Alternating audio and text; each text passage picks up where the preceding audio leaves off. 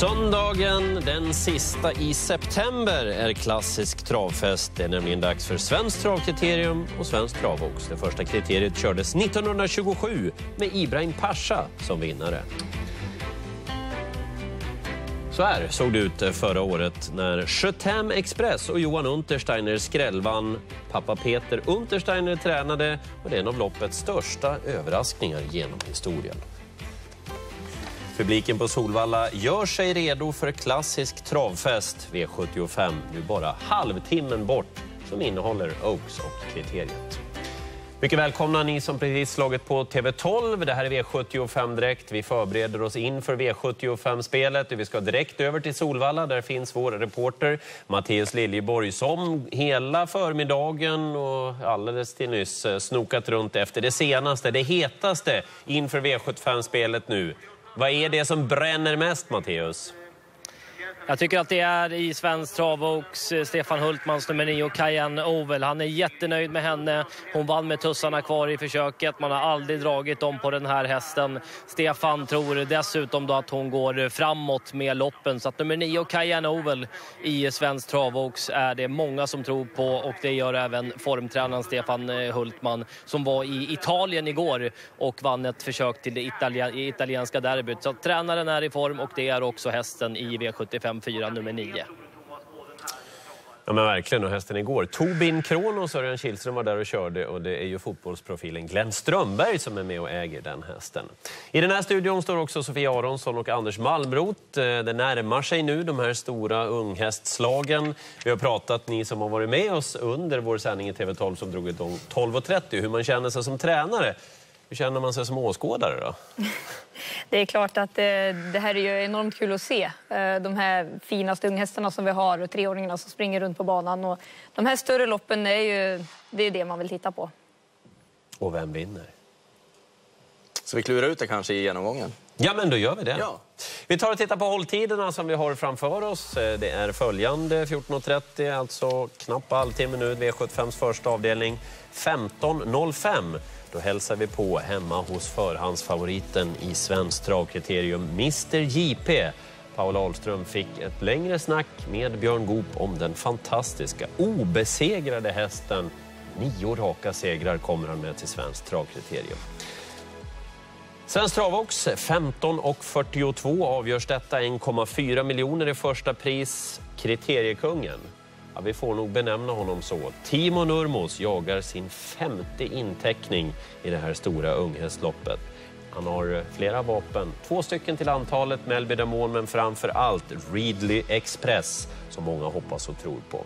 16.40 är det dags för Svenskt travkriterium. Två miljoner väntar vinnaren, men flera av hästarna är premiechansade och det betyder att de får dubbla prispengarna. Vi sammanfattar dagen i TV12 från 17.30. Det här är dagens spelformer V75 först. V5 börjar kvart över tre ungefär och dagens dubbel klockan 16.40. Och jag säger det redan nu, hör av dig till oss via Twitter. Hashtaggen är V75 direkt. Igår fick man drygt 400 000 kronor för sju rätt. Nu ska vi göra vårt bästa för att hjälpa dig eh, på traven till alla rätt. V75-omgången innehåller som vanligt sju lopp. Vi börjar från början med en favorit som tränas av Robert Berg. Hon heter Timbal och provade att kvala in mot killarna senast till Svenskt travkriterium. Men icke sa Nicke, Anders. Nej, hon blir ändå favorit i fara tycker jag i omgången. Hon fick ett väldigt styggt lopp i uttagningsloppet då, till kriteriet. Hon fick gå utvändigt eh, och det var ju lång distans då när man provade till kriteriet och det är ju nu 2140 meter när det är Oaks. Eh, men hon orkade inte riktigt sista biten och jag vet inte riktigt om den rätta formen finns där. Hon måste runda runt om nu och det är bra hästar på främre volten. Så att, ja, jag vill sätta varningsflagg för Timbal. Patrik Skoglund håller koll på uppvärmningen och kommenterar loppen idag. Patrik, tufft lopp senast, säger Anders. Hur var uppvärmningen då på Timbal? På det här viset Per var ute i långvagn som vi kallar det och eh, det var Lärling som var ute och eh, värmde nummer 9 Timbal idag. Inte snabbare än i de här farterna. Jag hade 27 300 meter på min klocka eh, i kilometertid alltså. Och det var mest en skön promenad för nummer 9 Timbal som ser ut som hon ska göra. Det är ingen snack om den saken. Men som sagt, hon testades inte av i några snabbare farter. Men ja, okej okay på nummer 9 Timbal. Ja, eh, jag tycker hon ser fin ut. Hon eh, är väl aldrig något imponerande i värmen och springer lite grann snett med huvudet. Men eh, jag tycker ändå för att vara hon så är det nog en, en helt eh, okej okay värmning. Hon ser väldigt pigg och glad ut. Ja, eh, hon, hon, gör det och hon, är ju, hon har ju varit väldigt, väldigt bra den här hästen. Men det finns väl lite frågetecken kring formen nu kanske. Tror du hon vinner idag? Normalt sett gör hon väl det, men det, det är inget lätt lopp det här för henne heller. Även om det är en Constellation va, så är det många bra hästar med här. Så att, eh, ja, hon får sträcka på sig för att vinna, det tror jag. Mm. Robert Berg, han har bråda tider idag. Han är och kör andra hästar i Frankrike så därför har han eh, låtit över Timbal till Jan Norberg som säger så här inför loppet. Vilken känsla har du här med Timbal, eh, Jan? Ja, det är en bra känsla. Det är ju en jättefin häst så att, eh, det är väl bara läget som inte är så gynnsamt men vi ska göra vårt bästa. Vad säger Robert? Jag har inte pratat med honom. Brukar ni inte diskutera lite? Nej, det, man får klara sig själv. Han litar på dig med andra ord? Jag hoppas på det. Vad tycker du om motståndet nu i det här Constellation-loppet? Ja, det är alltid tuffa, tufft motstånd i de här klasserna så att det, det är ingen lätt uppgift men eh, jag har en bra häst och jag hoppas på att det, det löser sig där bakifrån. Han verkar ju trygg i alla fall, Jan Norberg. Han kör även i V75 2. Lite betrodd ett Digital Collection, klar favorit 10 Wollsted. Här vill Anders att ni ser upp för. Nummer 6, Exodus Hanover, som eh, hoppas kan komma till ledningen. Han har visat bra snabbhet från början. Det här är starten för näst senast på Solvalla. Det är Nuncio som vinner och Sylvester America är där bakom. Exodus Hanover har gått jättebra de här loppen. Han galopperade senast i Jägersro, men den starten var bara att glömma. Det passade inte alls den dagen. Men det här är en riktigt bra häst och han har blivit helt bortglömd. Och eh, jag förstår inte riktigt varför. Men är inte Wollsted en kanon? Jo, men han ska ändå plocka de här längderna på en väldigt bra häst i ledningen. Så att, ja, jag är inte helt säker på Wollsted. V75s tredje avdelning flyttar vi till. Det är ett långt lopp, det är flera volter. Hästarna har tjänat olika mycket pengar, därför är de placerade som de är. Och Tio Sauveur får stå med eh, några tillägg tillsammans med Åke Lindblom. Du sätter dit en spikmarkering på den här hästen. Ja, ja, han är otroligt bra. Han var ju med i jubileumspokalen näst senast också. Jag tycker faktiskt att han möter lite enklare motstånd den här gången. Det var utvändigt även om Ivar Sonna näst, eller senast ska jag säga. Så att det är en häst i absolut toppform som är stark och tål distans. Vad gillar du hos Sauveur? Ja, jag gillar faktiskt allting med Sauveur. Han är enormt fin att titta på, rör sig bra, har en väldigt eh, bra vilja att springa och vinna. Och, eh, ja, det är en väldigt komplett fin häst han har här, Åke Lindblom. Nästa avdelning på V75. Nu börjar det brännas på allvar. Det är svensk travox. 1,4 miljoner väntar vinnaren. Och favoriten är nummer 6, Tunica. Ni som har följt med oss vet att Thomas Malmqvist tänker ta av skorna idag på sin häst. Men ni ska också hålla ögonen i det här loppet på Fyra Trading och nio Cayenne Oval. Eh, trading imponerade på mig i uttagningsloppet till Oaks. Hon blev lite hetsig under vägen men reglerades ändå så att hon kunde stå hela vägen hem. Hon är väldigt bra, hon är startsnabb. Jag tror Trading är ett eh, måste-streck. Eh, Erik Adielsson som kör trading här, han vann ju Svenskt travderby tillsammans med Svante Båth, samma konstellation igen nu. Vad kan sånt betyda? Det är klart att det betyder mycket för att eh, köra med ett bra självförtroende och träna med ett bra självförtroende. Det betyder väldigt mycket, speciellt när man kommer till de här större sammanhangen. Det, det kan vara väldigt avgörande. Komma till större sammanhang stora lopp. Örjan Kihlström kör Cayenne Oval. Ja, han kan ju det här. Och om vi säger till Cayenne Ovals del också då, så har hon ju stam som förpliktigar. Hennes mormor är Pine Dust och pappan är From Above. Och de här vann dubben Oaks-kriteriet 2001. Så det är ju som... Eh, det går inte att få det mycket bättre och det här har nedärvts då i Cayenne Oval. Stefan Hultman vinner säkert Svensk Travox igen. Ja, Stefan, du vann eh, Oaks med Cayenne Ovals mormor Pine Dust. Vad tror du om Cayennes möjligheter här idag? Ja, vi har ju lite utlämnare tack vare att vi har bakspår, men vi har en väldigt fin häst som är i bra form och eh, blir lite körning då i och med matchen. Nästa lopp på V75 är Kriterium Consolation. Tröstloppet för de som inte kvalade in till Svenskt travkriterium. Brakfavorit är 6 Heavy Sound. Ja, det borde han vara också. Han lyckades inte kvala in sist, men han var ju väldigt, väldigt bra när han vann E3 på Gävletravet. Och eh, här kommer han utvändigt på e ett broline och på ett provvagn går över i galopp här, men han vinner väldigt, väldigt enkelt och det är en mycket fin häst. Han blev lite het senast. Ja, det blev han, men eh, jag tror och hoppas att det går vägen i alla fall. Han möter lite enklare hästar nu än vad han gjorde sist och eh, jag tror att de reder ut det här. Och om Kenneth Haugstad vinner, då passerar han 7 miljoner inkört. Vad är det för status på Heavy Sound, tror du Kenneth? Nej, det är bra. Han gjorde ett fantastiskt lopp senast. Blev lite ivrig där och, och pullade bort lite krafter, men han känns jättefin efteråt så vi har ingenting att klaga på. Vad tror du om möjligheterna här då? Nej, det är klart. Eh, jag tycker, på, tycker han ska ha bra chans. Han är, han är så pass bra så han... Vi tycker väl både jag och Roger att han är med i fel lopp. Det var kaxigt med fel lopp alltså. Många av er där hemma spikar den där hästen på V75. 16.40, då är det dags för svenskt travkriterium och klar favorit är två Mr JP. Obesegrad in i det här, utmanas om man tittar på spelprocenten av nummer 5 Readly Express och nummer 3 Pythagoras Face. En Mr JP, Anders, som vinner svenskt travkriterium, hur då? Eh, ja, eh, från ledningen eh, Tror jag i så fall. Jag tror det är det Björn kommer att prova i alla fall. Han, han har ju aldrig förlorat med Mr Jeep och han ser ingen anledning till att släppa till någon annan heller. Han har lite trumf på hand i att han har en snabb häst från start, så att han vill utnyttja det. Han har varit lite sjuk, Mr JP, inte kunnat tränats riktigt som Björn Goop vill. Nej, men nu har han ändå kommit igång bra och han har kunnat träna på bra nu och, och göra ett par lopp här innan kriteriet. Så att det, jag, jag tror inte att det spelar någon roll.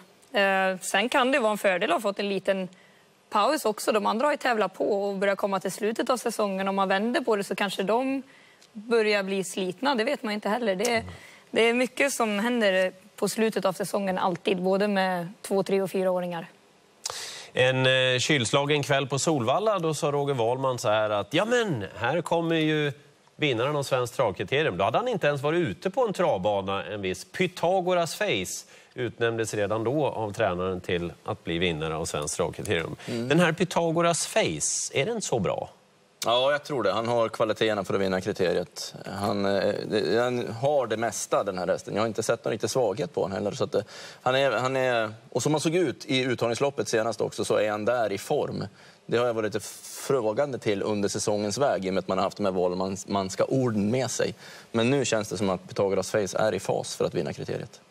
Björn Goop kan vinna med Mr JP. Han skulle också kunna vinna med hästen som ingen trodde på i försöken. MT King of the Hill som vann i utklassningsstil, slog på ett Broline och vann till 30 gånger pengarna. Ja, det var ju lite förvånande att han eh, kunde slå på ett broline i, i uttagningsloppet, men han gjorde det på sånt sätt och det var krafter kvar i mål också. Dessutom ska han testas barfota runt om för första gången nu idag också i kriteriet. Det här är eh, loppets joker, absolut. En häst som har, han har ju framförallt utvecklats väldigt mycket de sista starterna.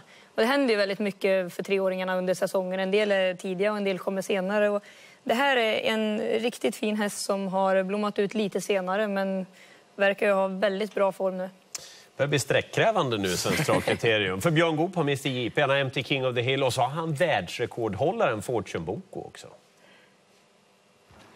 Ja, nu är du framme vid den stora dagen Björn. Hur är läget med Mr JP? Jo, det verkar bra. Han har tränat fint hela veckan tycker jag. Han har känts fin och han har rest bra. Så allting, allting verkar bra. Vad kan du säga om dina andra två pollar då? Fortune Book och MT King of the Hill. Eh, bägge kommer gå med lite nya balanser idag. De har tränat väldigt bra bägge två och känns bra. Så att, eh, de är väl lite dark horses bägge två. Jag tycker att de ska inte glömmas bort helt faktiskt. För att de, de känns bra. Ja, då blev det åtta streck för mig där i Svenskt travkriterium. Diamantstoets final, bara tjejer får vara med, i alla fall de fyrbenta. Och här vill Anders varna för fyra Raffinos. Ja, hon kommer att vara favorit när sista avdelningen går, men det ska hon vara tycker jag. Hon har visat så mycket och var jättebra när hon vann näst senast i Gävle. Då stod hon emot nummer åtta MT Illustrious över upploppsrakan, trots att hon hade dragit fram den också. Så att Raffinos är för mig hästen att slå de övriga. Klarar hon startspåret, då blir hon inte lätt att besegra. Det är vår V75-genomgång. Superkort nu. Jag kan inte ha åtta hästar i Svenskt travkriterium, men jag bara tar en, då tar jag... Readly Express. MT King of the Hill. Det var så tusan. Var du sätter dina streck vet inte jag. Hoppas att du sträcker dem rätt. Vi släcker ner vår genomgång och önskar lycka till i sträckandet under den lilla paus som vi nu tar. Men vi är alldeles strax tillbaka i V75 direkt. Och vilka hästar är det som trendar på V75? Uppåt och neråt i spelprocent om en stund.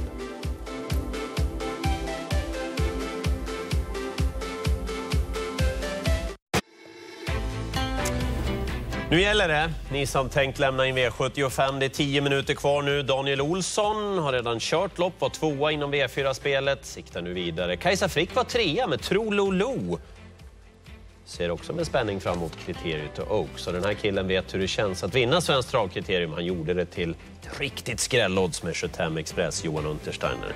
Johnny Takter, filosofen, tänker hur han ska vinna bland annat något V75-lopp kanske. Och stall Trio-kungen twittrar följande på hashtaggen V75 direkt. Omgångens bästa kastrull-loppspik. V75 7, nummer 7, Nicka Brolan och Jorma Kontio till låga 5% Oj, upp och nicka sockerdricka. Jaså, kan ni vinna Eh, alltså? Nej, jag har blivit lite besviken på henne. Då gör vi så här, då drar vi en eh, ny hejaramsa till eh, Patrik Skoglund som ska gå igenom eh, V75-värmningar. Så vi säger väl kort och gott Patrik, sassa brassa, mandelmassa då? Vad härligt. Vi kör igång V75 första avdelning och vi ska se på den snabbaste värmningen idag. Ni har varit inne och pratat om henne tidigare, nämligen nummer 6 Come and See. Och Anders Svanstedt lät inte henne vara ute på någon promenad inte. 11 300 meter. Härligt tryck, klipp i steget på nummer 6 Come and See. Spännande att se vad hon kan göra idag. Det var en bra värmning alltså. V75s andra avdelning. Eh, Vi kikar till nummer 10 Wollsted, favoriten.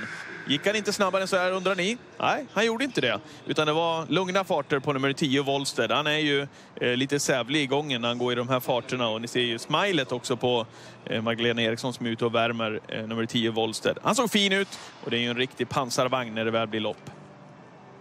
V75s tredje avdelning, apropå pansarvagn, nummer 12 Time Machine. Jag kan berätta att nummer 10 Sauveur har varit ute och värmt och sett bra ut. Eh, och det här är också en rejäl häst, nummer 12 Time Machine. Barfota runt om idag. Westholm körde i de här farterna på upploppet, inte speciellt snabbt. Men genom den sista svängen efter mål eh, Så tryckte han iväg ordentligt och då såg det riktigt bra ut på nummer 12, Time Machine, för er som vill ha en luring i V75s tredje avdelning.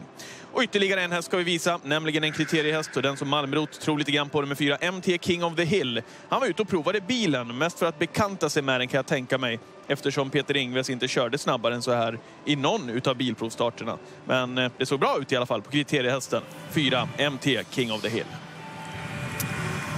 Då ska vi höra vad Stig säger om de här värmningarna då. Vilken stack ut mest tyckte du? Ja, jag, jag tycker faktiskt jag såg Savör. eh, De var inte, han var inte med på bilderna här, men jag såg honom och, och den stack verkligen ut för mig. Han såg otroligt fin ut. Så att, eh, jag säger den utan att han var med på de här bilderna. MT King of the Hill då i Ja, det, det såg ju fint och stabilt ut efter bilen. Han, eh, han lunkade ju bra där och eh, det var inga farter va, men den var ju imponerande senast. Mm, och fin i värmningen. Ja. Mm, per. Ja, och där tror jag det var några av er där hemma som enkelmarkerade Sauveur efter Stig och Johansson. Nu ska vi ta och titta på speltrenderna. Nu går det undan. Det är snart bara fem minuter kvar till V75-start. Vilka är kalla, vilka är heta på liret? Ni vet hur vi gör. Jämför spelet sista timmen in mot V75-start med hur mycket totalt hästen spelad på för en skillnad i spelprocent. Första speltrenden, Wollsted V75 ner 4 procentenheter. Han har ett besvärligt läge ändå. Han är bäst i den främre träffen tycker jag. Och jag har nämnt Exodus Hanover och det är mycket surr även om två Global Revenge. Så att det gör ju att eh, Wollsted dippar. Mm. Eh, Björnkollen på ATGplay.se och ATG.se där Björn Goop går igenom sina chanser kan det här röras till nästa speltrend. Kimono Pearl som gått upp 2 procentenheter. Mm, jag tror det. Han eh, plussade faktiskt för Kimon Pearl i Björnkollen, Björn. Och det är många som lyssnar och tar till sig vad han säger. Eh, det ser vi nog frukten av här. Ja, så den sista speltrenden då. Stig och Johansson plussar på. Många tror att den ska vinna. Sauveur. Ja, Går ner? Han går ner. Ja, men det blir de här stora favoriterna. Då. De gör ofta det eh, sista timmen också. Man letar, de sena spelarna letar ju och hittar de här eh, som kan fälla dem. Och då blir det att de kupongerna lämnas ju in nu. Eh, Så det blir ofta så ändå. Men det är inget jag tar någonting nämnvärt på. För det är bra på, rapporter på Sauveur. V75s första avdelning, Tröstloppet för de som inte kvalade in till Svenskt Trav Oaks. Favoriten är nio Timbal som försökte göra det mot killarna senast, misslyckades, men blir ju då stor favorit i det här loppet istället. Men eh, Anders Malmroth är långt ifrån övertygad om du får säga den emot då, om man vill spela ett vinnarspel. Då säger jag Kamensi som eh, hon gick senast. Hästarna har mjukat upp, förbereder sig så smått nu för start. Det är tre minuter kvar. Timbal, du lät inte över hövan imponerad i värmningen, Patrik. Är det något bättre tryck nu då i Timbal? Ja, men hon är ju lite grann så här Per också, det vet ju du som har sett henne. Det var inte snabbare än 27 i 300 meter och lärlingen som var ute och värmde eh, tryckte ju inte av någonting. Nu är det bättre fart tycker jag på nummer 9 Tim Balen, Janne Norberg. Eh, sätter sig upp och begär lite grann av henne här i provstarten. Det flyter ju väldigt bra. Det är ju en tuffing det här som nu är ute mot eh, sina rätt, eh, rätta motståndare kan man väl ändå säga. Nummer 6, Cam NC för eh, Anders Svanstedt. Var ju alltså den som värmde snabbast av samtliga inför V75 idag. Drygt 11 300 meter och trycker också iväg här i provstarten innan Anders väljer att plocka upp här i svängen också. Så att, eh, ja, vi har hört honom tidigare också. Han vill ju eh, prova ordentligt den första biten bakom startbilen så att säkerligen angelägen om att komma till ledningen med nummer 6, Kamensi. Kan också berätta innan vi går ner till Matteus att nummer 3, Tough Cookie, där skulle Björn gå upp värma. Eh, men då kom det en traktor i vägen och det gillade inte Tough Cookie alls utan galopperade. Och med tanke på hur hon har varit här bakom bilen i de senaste starterna så tror jag inte att det var den perfekta uppladdningen för nummer 3, Tough Cookie att få den där traktorn i knät. Eh, Matteus? Ja, och jag står vid bankant med Charlotte Andersson som sköter nummer 9 Timbal. Den här hästen börjar sin karriär på Mallorca. Hur skulle du beskriva det här stoet, Charlotte? Ja, alltså hon är väldigt snäll, det är hon. Men det, hon är, tycker om att ha sina egna åsikter, så det... Ja. Vad tycker du om hennes kapacitet? Jo, men det... Alltså hon, hon kan väldigt mycket. Kan. Hur var värmningen? Det var bra, känns som vanligt. Ser hon inte lugnare ut? Jo, lite lugnare än för förra gången faktiskt. Då var det lite mer på tårna, men idag var hon som vanligt igen. Det ser du alltså som ett plus att hon är lugnare? Ja, det tycker jag. Vad tror du om eh, chanserna här då i det här Consolation-loppet för Stona? Jo, men eh, alltså, det är klart man måste tro på honom. Det gör jag. Men det är hårda hästar emot och alla lopp ska köras. Så. Så är det ju. Eh, På travspråk vill man ju gärna säga det. Men vi måste titta på den här provstarten igen. Jag ropar upp Stig också. Anders Svanstedt trycker av sex Kammen Si ordentligt. Hur tycker du att det fungerar? För han provocerar ju henne lite här. Ja, det, det gör han. Men jag är inte helt, helt förtjust i aktionen hennes faktiskt. Hon tycker hon slarvar lite grann och går in i svängen i den höga farten hon hade då. Risk för galopp med andra ord. Ja, men det är väl mer från start skulle jag tro att det kan vara risk för galopp. Det, verkar ju, det hörs ju så. Någon åsikt, synpunkt om vem som har utmärkt sig i provstarterna? Jag tycker Tim Ball eh, såg eh, klart alertare och klart rakare i vagnen nu än i värmningen. Hon sprang och sov lite grann. Gott så, hästarna på väg upp till start. V75s första avdelning, lycka till ni som lämnat in. Nu drar vi igång den här eftermiddagen som förutom V75 Oaks Consolation innehåller Svenskt Travox 1,4 miljoner och Svenskt Travkriterium 2 miljoner. Storfavoriten i det bakre ledet, nummer nio Timbal tillsammans med Jan Norberg, Robert Berg tränar.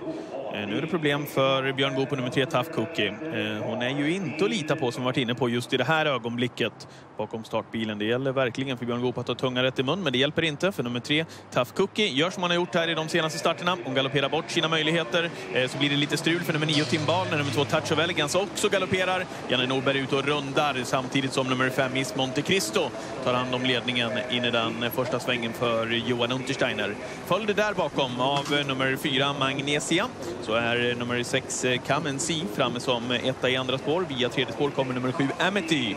Där bakom som trea i andra spår just nu nummer 9 Timbal. Samtidigt som Anders Svanstedt är ute efter ledningen med nummer 6 Kamensi. Körde på safety genom den första svängen, tryckte till när de kom ut på rakan och tar över ledningen efter 500 meter som inleds på kilometertiden 11,5. Etta i andra spår, nummer sju Amity som har fått jobba eh, genom tredje spår för att komma dit. Trea på nummer fyra Magnesia följde där bakom av nummer tio Global Supremacy. Det är hästen som har positionen tvåa i andra spår. Lägger ner nummer nio Timbal. Jan Norberg finns i ett eh, bra läge just nu i tredje ytter. Frågan är hur länge han sitter kvar där med tanke på att en av de svåraste konkurrenterna har ledningen i nummer 6 eh, Kamensi. Ner hittar vi också nummer 11 Twist of Lemon som är sist i andra spår just nu när vi kommer upp för att passera 1000 meter. Janne Norberg också eh, på gång via tredje spår med nummer 9 Timbal. Samtidigt som varvet travas på en 12,5. Det är väl bra fart ändå det. Och då ger han sig iväg. Janne Norberg med nummer 9, Timbal. Som eh, får eh, jobba lite grann för att ta sig dit. Nummer 7, Amity, kommer att få andra ytter. Och ut på slutrundan då så har vi nummer... Ja, så galopperar. Galopperar nummer 6, Kamensi. Eh, det blev perfekt det där för Janne Norberg när 6 Kamensi galopperar. 9 Timbal är det som tar över. Galopp för 10 Global Supremacy också i det här läget. Och med som tvåa nummer 7 Amity. Fram som tredje nummer 5 Miss Monte Cristo. Nummer 9 Timbal leder. På gång då också nummer 4 Magnesia för Oskar J. Andersson. Det är en jättesusare det som kommer upp på utsidan när eh, Andersson trycker iväg. 9 Timbal som inte är så det jättekvick eh, på kort bit. Eh, provar att accelerera för att ta emot nummer 4 Magnesia. La han krutet, la han lasset för tidigt Andersson. Med som tredje nummer 7 Amity. Timbal försöker att försvara sig invändigt. Vi vet att de går hela vägen. 4 Magnesia har kopplat greppet, det är en jätteskräll. Har med sig det bakom nummer 7 Amity. Det är när upploppet är kvar. Så är det nio Timbal invändigt, men det är Magnesia i andra spåret. Man kopplar greppet för Andersson. Här kommer nummer sju Amity som har fått en bra resa också för takter. Fyra, Magnesia, Sju Amity sida vid sida med kort bit kvar. Vem vinner Oaks Consolation? Fyra eller sju? Det ordnar till och det är absolut knallhårt. Oj, oj, oj. Eh, superskräll eller eh, liten överraskning? Magnesia eller Amity? Men herre jösses, har det någonsin på senare tid hänt så mycket på några hundra meter i travlopp som det gjorde i det här? Nej, det, det var förvånande ändå. Det, det var, efter varvet kvar så kändes det som att positionerna var intagna och sen hände allting på 200 meter. Och vem var då först? Invändigt Magnesia, utvändigt Amity. Spelprocenten på de två, Anders? Ja, det är 2 mot 17 tror jag det var när jag tittade. Oj, vad hårt i mål. Kolla här då. Sex Kamensi i täten. Jan Norberg attackerar med nio Timbal. Vad ser du, Sofia? Mm, vi får kolla på det här nu igen. Vad det är som händer exakt. Nej, hon bara galopperar. Jag kan inte se någonting eh, som inte stämde. Hon bara gick över i galopp. Och, och sen då, eh, Johnny Takter ner i rygg på Timbal. Då skickar Oskar J. Andersson, den unge lärlingen, framgångsrike. Snacka om självförtroende. Ja, i det där läget så känner jag att nu är det dags. De såg lite matta ute framme och Johnny hade precis gått ner också med mig till att nu ser jag min chans att, komma till ledningen nästan in mot kurvan. Nu gjorde han inte riktigt det och det är väl det här att Timbal, han svarar upp runt svängen som gör att möjligtvis, nu ska jag inte säga hur det var för det var ju stenhårt i mål. Eh, men att hon blev lite, lite stum de sista 50 meterna. Hon gör ett jättebra lopp på Magnesia. Men då kan jag inte spara kraft bakom där istället och gå ut här då in på upploppet och så blir det ju en fight dessa två emellan mot linjen. Kajsa Gustafsson har fått tag i Oskar J. Andersson nu som väntar nervöst på resultatet. Försökte gunga in Magnesia där. Vad säger han, Kajsa? Ja, han säger att Jonny säger att du vann, eller visst var det så? Ja, precis. Han pekade på mig efter mål och sa att jag var första. Ah, Lillfeeling var det. Även när jag såg på, såg på målfilmen efteråt där på bortre långsidan så såg det ut så. Vi får se. Det är lite jobbig väntan nu då? Ja, lite. Men hon gjorde ett helt fantastiskt lopp och hon... eh, Ja, det jag säger som Marcus Svedberg, det var fel lopp kanske att vara med i Constellation. Men Ska vi lyssna nu då?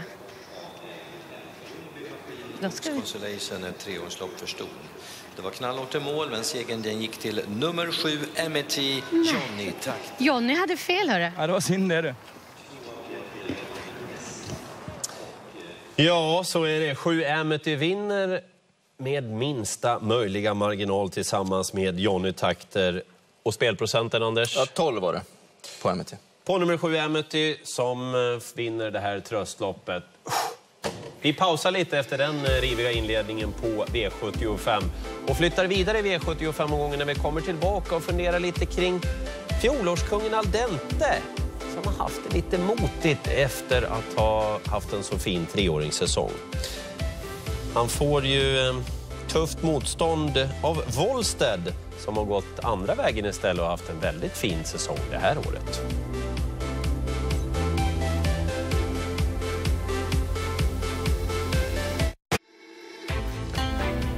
Solvalla-publiken och ni som tittar på V75 direkt. Vilket upplopp ni fick i V75 1. Invändigt 4 Magnesia. Oskar E. Andersson och utvändigt Johnny Takter, Elitloppsvinnaren med nummer 7. Amity, som var först när mållinjen passerades med liten marginal. Jag gick med Oscar efter loppet för han sa, Jonny sa att jag vann. Jag var helt hundra. Jag har aldrig varit så övertygad om att jag var tvåa i något, någon fight som jag var nu. Så att, eh, han måste ha haft eh, längre näsa än jag trodde. Så att, eh, jag skulle bara jogga ner hästen, sa killen som skötte hästen. Och det lovar jag att göra. Så att, jag snopen. Ja, men det är ju bra när man får vinna. Det är bra när man får vinna. Ja, absolut. absolut. Och vad jag förstår är du lite stressad för Wollstedt ska ha samma vagn nu i nästa lopp. Tror du du kan ta en dubbel med den här vagnen då? Ja, jag gissar ett test. Det ska bli kul att köra. Kör hårt. Skönt med lite fans där på sidan också. Det är inte alls ovanligt att Johnny Takter får skriva autografer på Solvalla. 7 Amity vinner, 8,55 är vinnaroddset. Det är Katarina Lundström som tränar. 4 Magnesia, 2 9 Timbal favoriten 3 och kilometertiden är superfin. Och när jag säger det så blir jag samtidigt osäker. 1.12,2 Anders. Ja, för Timbal och Tunica delade på, ja. på 12,5 på världsrekordet. Eller hur? Eh, Det kom, jag fick bara Det skylten kom åt eh, lite ursäkta, men, eh, så, ni så- där ute. Hjälp oss nu via Twitter här. Hashtaggen är V75 direkt. Visst är det väl världsrekord det här av Amity? Kvarstående system 121 000 efter den första avdelningen. Från början var det 647 000, värdet 73 kronor på V75. Här kommer favoriten som trots galoppen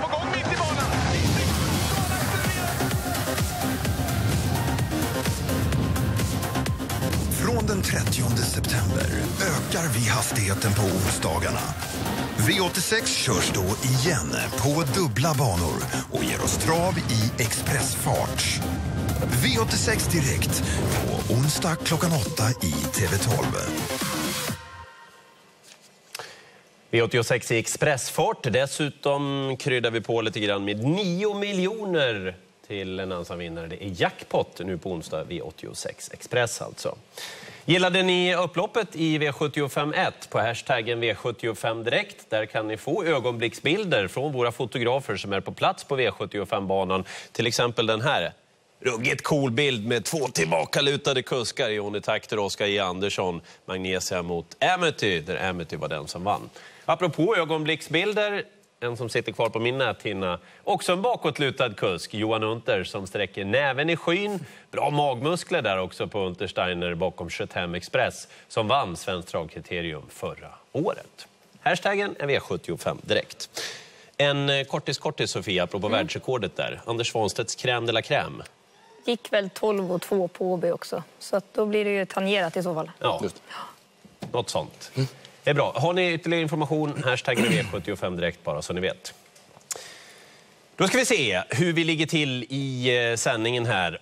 Ja, vi kör så. Vi tar eh, och blickar mot nästa avdelning och vi gör det med en häst som heter Aldente. Han kom ju med 12 raka segrar mot Svenskt dragkriterium förra året. Alla trodde att han skulle vinna. Han var megafavorit, men... Till finalen av Svenskt dragkriterium i fjol kom Aldente med 12 raka segrar. Han hade vunnit allt under säsongen, bland annat storlopp som långa och korta E3-finalen.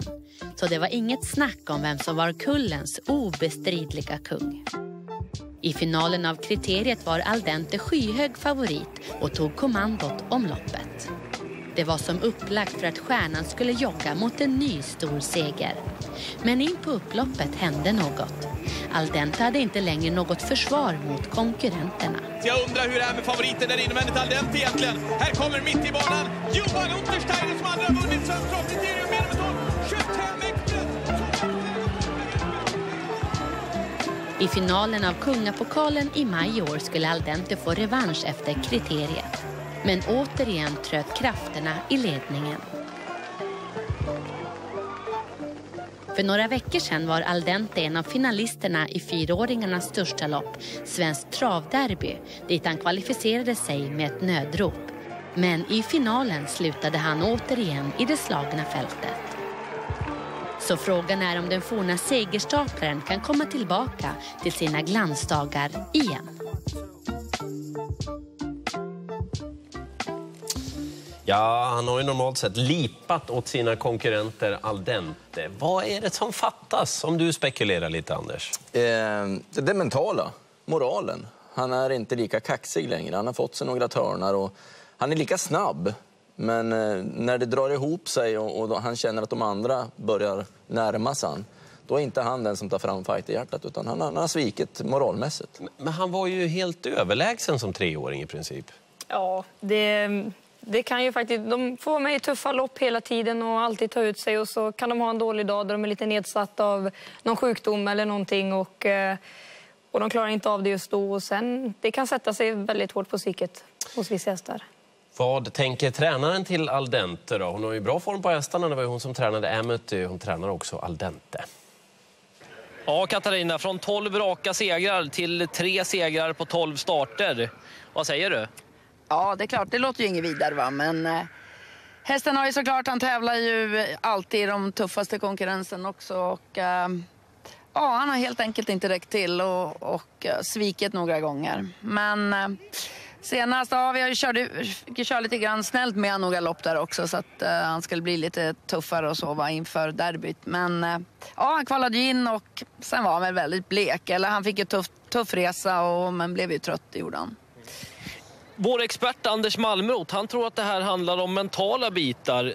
Vad tror du om det? Jo, men lite så kan det vara. Va? Att han, han, eh, när han har blivit trött så blir han ju rejält trött. Va? Men nu har vi kollat upp han och eh, inget fel alls så. Vi har inte hittat någonting. Va? Så att, eh, idag får det väl bli, eh, eh, får bli ett snällt upplägg helt enkelt. Så att eh, vi ser att det är inget fel på honom. Så att, han, han, har känns, han känns kanonfin hemma så vi är lite fundersamma. Mm. Det kan man ju förstå också med en häst som Aldente. Startlistan till V75s andra avdelning. Aldente tillhör den här gången inte någon av de mer betrodda. Det är stallkamraten Wollstedt istället som gått en annan väg än Aldente. Tjänade drygt 200 000 som treåring, nästan 2 miljoner så här långt i år för Wollstedt. Det närmaste start, V75s andra avdelning, rakt igenom ett jättefint lopp. Patrik, ska vi reda ut det där med eh, världsrekord eller inte för Amity? Ja, jag satt och lyssnade på er lite grann här. Och, det är ju Och alltid det skrattade, där... eller? Nej, det gjorde jag inte Per. Men det är ju sådär med tider. Man vet ju man blir ju alltid fundersam och ställer sig frågan själv. Eh, flera gånger också. Eh, 12 och 1 gick hon, crème de la crème. Eh, tiondelen snabbare alltså, där på Åby tillsammans med Anders Svanstedt. Så att, eh, det får väl vara det gällande då, 12 och 1 på crème de la crème. Såg ni 10 Wollsted nu förresten? Vilket helt annat tryck det är i honom nu när det börjar bli dags för start. Ehm, med eh, de rätta utrustningsdetaljerna på plats också inför loppet så är det härligt att följa nummer 10 Wollsted som verkligen ser eh, kaxig ut. Här testar Janne Norberg säkerligen revanschsugen efter Tim Bahls eh, förlust i förra loppet. Han kör nummer ett Digital Collection. Notera att det är barfota runt om där på eh, den kanten för er som letar skrällar i V75s andra avdelning. Här är då nummer tre Aldente också som eh, ser ut på det här viset och inte några snabbare och tuffare farter här i eh, eh värmningen och inte i provstarterna heller. Vad får du för känsla Stig när du ser nummer tre Aldente? Jag tycker han ser bättre ut än eh, när han gick bra, om man säger så. Va? Det, då kunde han se kantig ut många gånger och så gick han ju loppen i alla fall. Va? Men nu travar han ju fint här och eh, eh, verkar ändå inte ha någon form. Då, så att, eh, så kan det också vara ibland med topphästarna. Vad säger du om när, när du ser 10 Wollsted? Jag, jag tycker det är så härligt man följer han ju närmare starten kommer. Ja, Det är ju en klockren löphäst det här naturligtvis. Han vet precis vad det är frågan om och när det skruvar upp sig till start så här då, då blir han ju intresserad och ambitiös och som sagt var vet vad det är frågan om. Så att, sådana hästar vill man ha som leker lite i värmningen och inte tar det så allvarligt och sen när det är allvar så vet de vad det är frågan om. Stig, eh, har du lånat ut vagnen till Aldente idag? Ja, det tror jag inte. Jag lånade ut den igår till Erik som han vann lopp med Johanna. Eh, startbilen släpper iväg dem där i V75s eh, andra avdelning. Tre Aldente, precis som vanligt bra med. Liksom nummer två Global Revenge eh, som provar att ta emot. Längre ut kommer också nummer fem Ranch Newman. Eh, Jorma Kontio får ta upp sin häst, liksom Ulf Olsson bakom nummer tre Aldente. Man har ju inte den där respekten med sig längre, Aldente, som man hade i fjol som treåring när han eh, ofta tog hand om ledningen eh, själv, men ofta också blev släppt i tätpositionen. Erik Adielsson väljer att köra med nummer två Global Revenge i täten. Följde bakom av nummer ett eh, Digital Collection och nu kommer nummer 10 Wollsted. Jonic Takter på gång redan nu på den första långsidan upp till 500 meters passeringen. Så kommer 10 Wollsted med mäktiga kliv, en 12,9 tidsnotering för nummer 2 Global Revenge som är i täten. Har strax sällskap av nummer 10 Wollsted som finns snett på utsidan. Ryggledaren för nummer 1 Digital Collection Se också vilken härlig häst det är, de 10 Wollsted, när han kommer upp i de här farterna. Vi har eh, där bakom också nummer fyra Party Boat eh, Hanover som är trea på eh, innerspår. Nummer tre Aldente finns i andra spår, liksom nummer fem Ranch Newman sex Exodus Hanover. Nummer fyra i andra spår, Vita lägger ner också nummer 11 Furious Francis. Nummer 10 Wollstedt fram och masserar. Nummer två Global Revenge upp till 1000 meters passeringen på en 13 blankt. 13 blank tidsnotering. Björn Takte tänker inte låta Erik Adelsson sitta där framme och mysa och ha någon härlig söndags eftermiddagstur. Det är framme med nummer två Global Revenge. Galopp i kön för sju Sylvester America. 10 Wollsted är det nämligen som är uppe och manglar nummer två Global Revenge ut på bortre långsidan. Nu får de övriga vara tuffa om de ska hänga med här. Eh, det har tre Aldente. Klara problem med i nuläget. Istället är det ett Digital Collection som glider ut som tvåa i andra spår. Lämnar ryggen på nummer två Global Revenge för att ta rygg på nummer 10 Aldente. Eh, på nummer eh, 10 Wollsted. Samtidigt som Aldente faller tillbaka. Fem Ranch Newman uppe som fjärde. Fram invändigt fyra Party Boat Hanover. Lägger ner också nu via spår nummer 6 Exodus Hanover och nummer 11 Furious Francis. Men det är 10 Volstead, som uppvaktar. Nummer 2 eh, Global Revenge här med 350 meter kvar. Bakom dessa tassar i andra spår nummer 1 The Digital Collection. Kommer i utgången av den sista svängen så är 10 Volstead. Eh, var han möjligtvis på väg att rumpla till? Eller är det bara trötthetstecken? Ett Digital Collection kommer i tredje. Men det är invändigt nummer 2 Global Revenge som har greppet om det här just nu. Ett Digital Collection kommer att närma sig något den sista biten. Två Global Revenge har det fortfarande med grepp med, även om ett Digital Collection spurtar bra. Furious Francis lika så. Men det är en mycket fin prestation av nummer två. Global Revenge som landar in på preliminärt 12,1.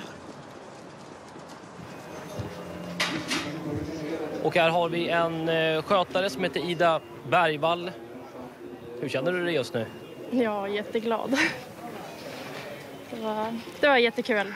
Han gick bra över upploppet i derbyt, men det här var ju också jättekul. Hur skulle du beskriva den här hästen? Han är jättesnäll och jättetrevlig på alla vis och gör alltid sitt bästa. Och, ja, han har ett hjärta av guld. Vad tänkte du här i slutsvängen då när Wollsted, storfavoriten, närmade sig eh, er häst? Ja, jag tyckte att eh, Erik såg så jäkla nöjd ut. Satt med pisken bakvänd och bara låg. Så att, jag vet inte, det syntes att det var... Erik var nöjd. Grattis! Tack! Ja, jag tror att Sofia får eh, börja och prata lite om eh, Global Revenge i det här loppet för Anders Malmrot Han är med och deläger nummer ett Digital Collection. Han, hans falsettövningar under upploppet är inte att föredra för stämband som ska hålla hela vägen fram till kriteriet. Eh, Erik Adielssons häst här, hur lätt vann han egentligen? Jo, det såg faktiskt mycket enkelt ut. Han drev inte någon nämnvärt mycket utan det såg ut som han mest lät honom få sköta sig själv.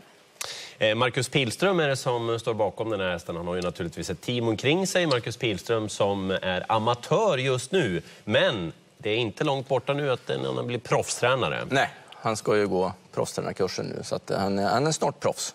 Då vill jag fråga så här medan vi har hans fina häst i bakgrunden här. Robert Berg flyttar söderut. Marcus Pilström håller till i Sundsvall. Kan han bli en faktor nu på ett helt annat sätt där uppe tror ni?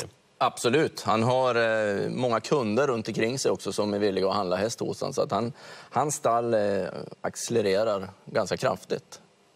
Hur bra är Global Revenge? Han var med i det största loppet som finns för fyraåriga hästar. gick väldigt fint där. Det är en eh, väldigt fin häst som, eh, som jag tycker också är under kraftig utveckling. Och eh, jag tycker han går lite från klarhet till klarhet. Han blir bättre för varje lopp tycker jag. Håller med. En som inte stod riktigt att känna igen idag, det var väl Wollsted tillsammans med Johnny Takter. Ja, vad säger du Johnny om Wollsteds insats? Nej, gjorde vad han kunde för dagen tycker jag. Han sprang och krängde lite i svängarna för mig. Och, och tryckte lite på Eriks vagn men eh, jag tror att han gjorde precis vad han kunde så att eh, det bevisar bara hur hårt det är idag. Det, det är lite svårt med bakspår och eh, men eh, jag kan ju inte hästen egentligen vad hans maxkapacitet är. Eh, så att jag har ju bara sett det men lite trött var han. Lite trött var han.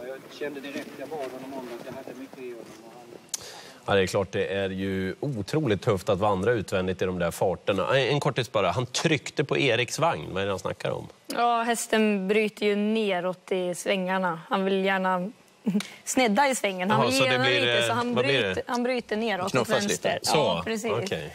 Så då får han ju sitta och hålla emot och då kan man inte riktigt köra i den samma fart. Man får istället sitta och passa bara att hästen tar sig igenom svängen, men man kan inte öka takten någonting. Du pratade om ägare där, Anders, Mm. som Marcus Pilström har. Det finns en glad bakom Global Revenge. Ja, här har vi Mats Karlsson som äger den här Global Revenge. Beskriv, hur känns det? Ja, ägare, delägare. Ja, det är väl näst, nästan samma sak. Ja, lite grann. ja. Nej, men det, det är sjukt alltså. Det, är helt, det finns inte. Jag, jag var ute sönder igår på ett 180-årskalas och gjorde en, en vinkling att okej, jag, jag tar flyget från Frösö. Min familj vet inte om att jag är här, men okej då.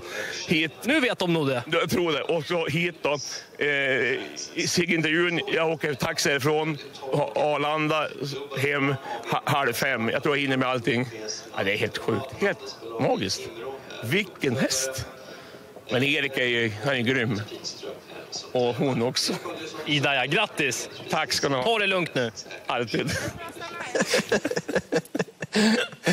Vilka dygn! Ja, eller hur? Ja. Har du någon liknande historia? Nej, den där går nog nästan inte att toppa alltså. Man kan pricka av Sverige och så är det kalas och det är Han kan vara med i spring. Ja! ja! Det är ju grannstudion här, så det är bara nästa gång det. Till Mats som äger Global Revenge. Grattis säger vi! Snyggt av er som hade med den hästen på V75. Vi pausar lite grann nu och är strax tillbaka i V75 direkt. Då med den eh, obesegrade stjärnan och ett hemma hos-besök hos, ja ni vet vem i det här laget, Mr JP. Och Åke Lindbloms stjärna Sauveur har inte vunnit sen Elitloppshelgen, men det är väl dags nu va, för den här vackra hästen i V75 3. Vi ses då!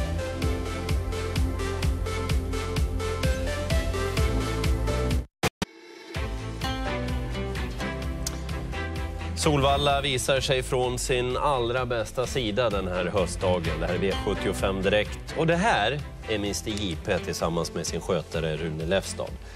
Ekipaget har varit ute och bekantat sig lite med Solvallabanan, mjukat upp sig lite grann inför den andra värmningen när kusken och tränaren Björn Goop ska sitta upp och kolla på Mr JP. Snacka om att veta vad det handlar om. Klia lite efter bettet när man har varit ute. Klart man får klia sig lite grann. Helt trygg. Det är en stor dag för Mr JP, men han verkar helt obekymrad. Han är obesegrad efter nio starter och han är favorit att vinna kriteriet och osannolika 4 miljoner kronor. Vi var naturligtvis väldigt nyfikna på hur kungen mår när han är på hemmaplan och skickade Paul Ahlström för att eh, notera den sista finslipningen av Mr JP.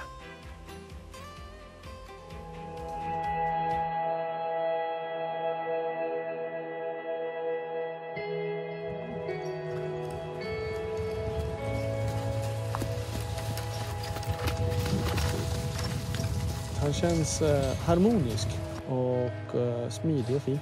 Allt är till belåtenhet inför kriteriet alltså? Ja, nu är det det faktiskt. Eh, Han, han, känns, han känns som att han har tagit det på rätt sätt och han känns, han känns fokuserad och inte överladdad utan liksom sådär lugn, fin, perfekt som taggad ändå. Men backar vi bandet några månader så var det långt ifrån självklart att vi skulle få se vinnaren av uppfödningslöpningen i Svensk travkriterium. Mr JP drabbades nämligen av borrelia tidigare i år och visade sig inte på tävlingsbanan förrän i mitten av augusti. Han vart ju jättesjuk och det var liksom konstiga symptomer. Och det tog lång tid innan vi hittade liksom rätta symptomen och sen när han väl då var frisk, eller symptomen hittades så var det otroligt lång, eh, lång medicinering för att få honom bra. Och ja, tiden rann ut och det var liksom kris på tiden för att få honom i ordning men eh, ändå så hann vi. Utvecklingen som du jämför honom som från två till treårig? Eh, han är väl... eh, Han har växt några centimeter. Han är lite större. Ehm, han är fortfarande väldigt ung och omogen i sitt sätt.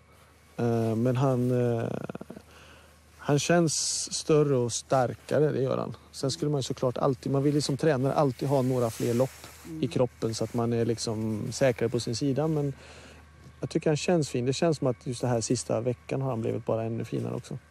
Om det nu är han som är kriterievinnaren på söndag, Mm. vad, är det som har, vad är det som gör honom till en kriterievinnare då? Eh, det som gör honom är att han är ett unikum i sådana fall.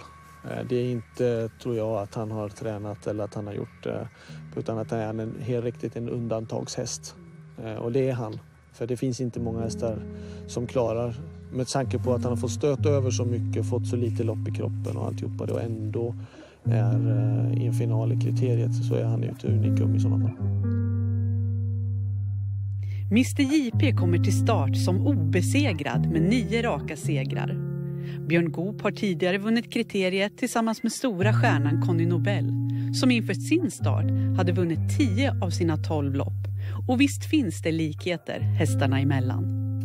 Samma krigsinställning, samma eh, lätt för att ta åt sig saker och ting. Hästar som blir bättre med lopp, hästar som blir bättre av träning på ett lätt sätt. Liksom, och, har det där. De har lätt för sig helt enkelt. På så sätt är de väldigt lika. Men sen var de också två lite små busungar. Mm. Mm. Vilken prestation i sig är att ha nio raka segrar från, från starten.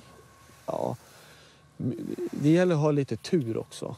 Um, först då måste det vara väldigt bra. Sen gäller det att ha lite tur. Det får liksom, hästen måste vara bra just vid rätta tillfällena och sådär. alla hästar har perioder då de växer och perioder då de är lite sämre och just då, om det då, man just då startar i samma veva, ja då vinner de inte. Mm. Men hans och de två har alltid varit så att det har liksom stämt perfekt allting hela tiden och de har varit bra. Hur god är din känsla att vinna kriteriet med Mr JP? Den är, den är god faktiskt. Jag har bra känsla på honom. Jag har kört honom nu varje dag i stort sett efter han startade sist och han känns faktiskt jättefin nu. Eh, men sen är jag realist. Jag vet vad svårt det är att vinna. Jag vet vad mycket som kan hända och göra att vi inte vinner. Eh, om man ändå ska vara realistisk så finns det mer anledningar till att man inte kan vinna än kan vinna. Och alla hästarna är ruskigt bra i år. Jag tycker det är väldigt, väldigt bra årgång alla treåringar. Vi är på bred front. Så att eh, jag är beredd på att förlora. Men jag har en inställning att jag vill vinna.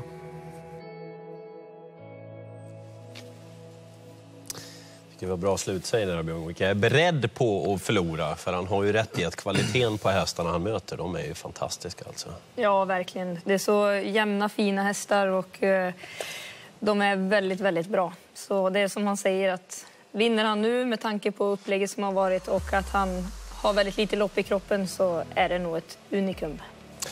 Två Global Revenge vann V75 Fredrik Adielsson, fem gånger som vinnare. Ett Digital Collection blir tvåa. Grattis Anders. Tack. 11 Furious Francis, du kan prata fortfarande. Ja. 12 och en segertiden, V75, 201 kronor. Systemnedräknaren tittar vi snabbt på också. 44 000 drygt är kvar nu och värdet som sagt 201 kronor. Hög tid nu att koncentrera oss på V75 3. Stor favorit nummer 10 Sauveur. Det är ett långt lopp, det är flera volter och vi blickar, eller vi får, en liten genomgång av provstarterna snarare Patrik. Ja, det får bli det med minuten kvar. Det här är favoriten, nummer 10, Sauveur, tillsammans med Åke Lindblom. Stig var inne på det tidigare. Han värmde väldigt bra den här hästen idag eh, och ser ju kanonfin ut här i provstarten också. Lyssnade på en intervju här på banan faktiskt med Åke Lindblom. Han är ju alltid skön att lyssna på. Matteus frågade, du, vad säger du om motståndarna? Motståndarna. Det finns väl inga, sa Lindblom. Eh, lite skämtsamt, men lite allvar också såklart. Han sticker ofta ut i intervjuerna och tror på toppchans här såklart. Två ID. Eh, den hästen värmde ganska så tufft i bakvarv för Thomas Malmqvist tidigare idag. Det är en tuffing det som var hårt, eh, har varit hårt betrodd i de senaste starterna men har fått nöja sig med andra platsen de gångerna. Och så hästen som startar längst bak på 3200 meter, nummer 13, Cander Hall. Eh, har ju god form varade ju för en kanoninsats som inte annars här näst senast på Solvalla som tvåa. Eh, då han fick tuff massage där framme i täten, men eh, står lite tufft till idag. Eh, vill ni in någonting studion? De har en bit kvar upp till start nämligen, till V75 tredje avdelning. Walter Lundbergs Memorial handlar om. Ja, jag vill in och jag tror vi alla här i studion vill rikta samma fråga till dig Patrik och det är ju att efter det här loppet då är det väl dags för Mr JP att komma ut på banan. Och jag jag tror väl sällan det har varit så mycket snack inför ett kriterium, hur en häst har rört sig och hur den har sett ut. Va, vad förväntar du dig nu när han kommer ut på banan så småningom, i STIP? Jag vill se Mr JP så fin som vi har sett honom här vid några tillfällen. Jag såg ju värmningen på Jägersro i den näst senaste starten. Då flöt det ju jättefint honom och bakaktionen också. Det är ju det vi har haft lite anmärkningar på emellanåt. Men ja, eh, det är klart man vill se de här hästarna när de kommer ut och verkligen ser fräscha och fina ut. Och han har varit ute och lunkat lite grann här på inneplan, på den lilla banan här på Solvalla, för sin eh, skötare. Och då var allting väl i alla fall. Men som sagt, vi vill ju se en fräsch Mr JP, precis som alla andra såklart. Att de travar klockrent. Strax V75s eh, tredje avdelning. Walter Lundbergs Memorial Stig, du är med där nerifrån också. Vad säger du om uppgiften för Åke Lindbloms nummer 10, Sauveur här? 40 meters tillägg och han är ju eh, optimistisk, som vanligt, den gode Lindblom. Ja, han har anledning att vara det också tycker jag, vad som han såg ut där före tävlingen i alla fall. Han är eh, felfri, eh, nummer 10 Sauveur, precis som de övriga. Samtidigt som vi har den tidiga ledaren i nummer 2 Idi. Följd av eh, nummer 1 Camilo Bucco med som tredje nummer 3 Panoramic. Sedan har vi en liten lucka ner till nummer 8 Bolt Bucco som är den som startar snabbast på 20 meters tillägg. Åke Lindblom är eh, fyra från slutet med nummer 10 Sauveur. Hur tror du att han lägger upp loppet med Sauveur, så som du känner hästen och kusken också för den delen? Ja, han är ju rätt offensiv åker naturligtvis va? och så fort att det blir lite dämpning tror, tror jag att han eh, kör framåt. Men han är också väldigt snabb hästen så han kan nog eh, sitta lugn och vänta ut dem också, det tror jag. Ser ut att kunna bli en position som fyra i andra spår när positionerna är intagna. 500 meter på långsamma 1.18,3 men distansen alltså drygt tre varv. Framme som etta i andra spår, nummer sju Usain Henna. Har med sig det bakom sex James Hugo som är tvåa i andra spår för Johan Untersteiner. Där bakom också en jättefina stig, eh, nummer 12 Time Machine. Westholm på gång, vad säger du om den manövern från Westholms sida? Ja, det var nog eh, smart att gå före Sauveur i alla fall. Men jag tror nästan inte han får ta över utav ID. Eller jag tror inte det i alla fall. Men han kanske är tvingad Ja. att släppa med den. Jag Ja. tänkte säga det. Han testar i alla fall ordentligt här, Westholm, med två varv kvar till mål. 1000 meter på en 16,9. Det var ett eh, drag det där. Som heter duga ifrån Westholms sida. Laddade iväg. Tog över ledningen med nummer 12 Time Machine som leder med mindre än två varv kvar till mål. Eh, Positionen flyttas fram ett steg för nummer 10 Sauveur som är i tredje ytter då. Eh, har framför sig alltså nummer 6 James Hugo. Har bakom sig nummer 11 Alkalizer Am. Det är bakom också som femma i andra spår en avslutande nummer 13 Kander Hall. Ehm, vad tror du Westholm gör med sin Time Machine eh, som ju har styrkan som sitt vapen men också är kvick i steget? Hur tror du att han modererar det framme? Jag tror att han kör ett inte allt för överdrivet högt tempo. Det kommer han nog inte att göra. Utan kanske sista rundan att han drar undan ordentligt om, om Savör sitter kvar fortfarande då. Framme så har vi alltså eh, Jörgen Westholm, 13.02 tidsnotering för eh, nummer 12 Time Machine. Hade min klocka lite långsammare faktiskt. Han startar ju med 40 meters tillägg men tufft har det gått i alla fall eh, när han drar på. Med nummer 7 Usain Henna på utsidan. Andra ytter alltså för nummer 6 James Hugo. Och tredje ytter där bakom nummer 10 Sauveur liksom 11 Alcalaizeram som finns längre ner. Två ID i ryggen.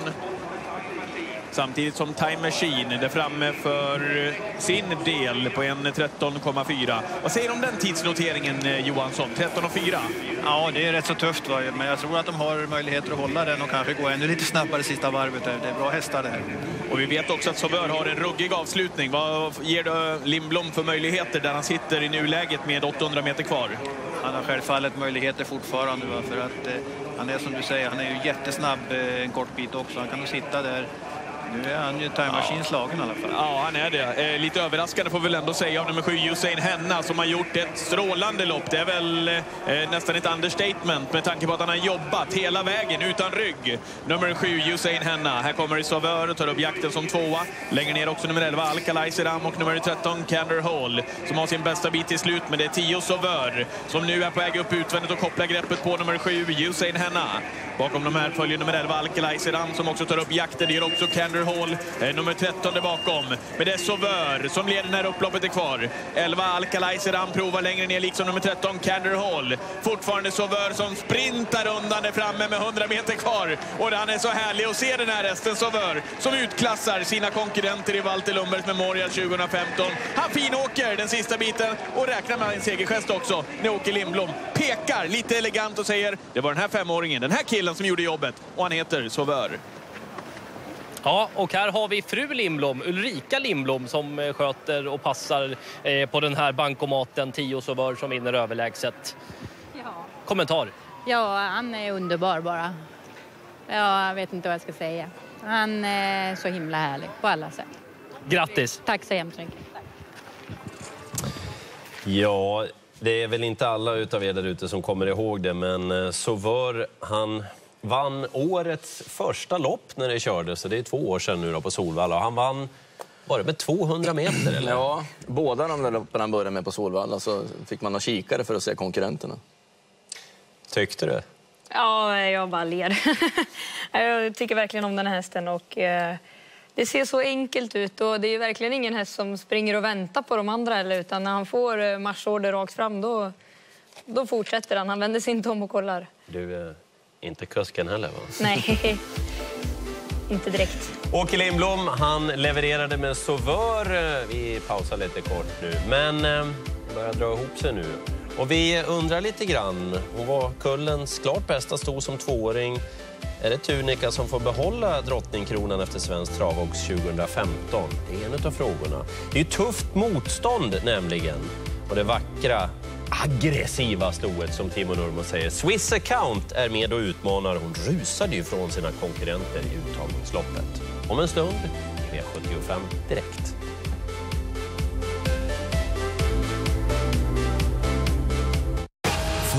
avgörande timmar i natt klockan ett i TV12.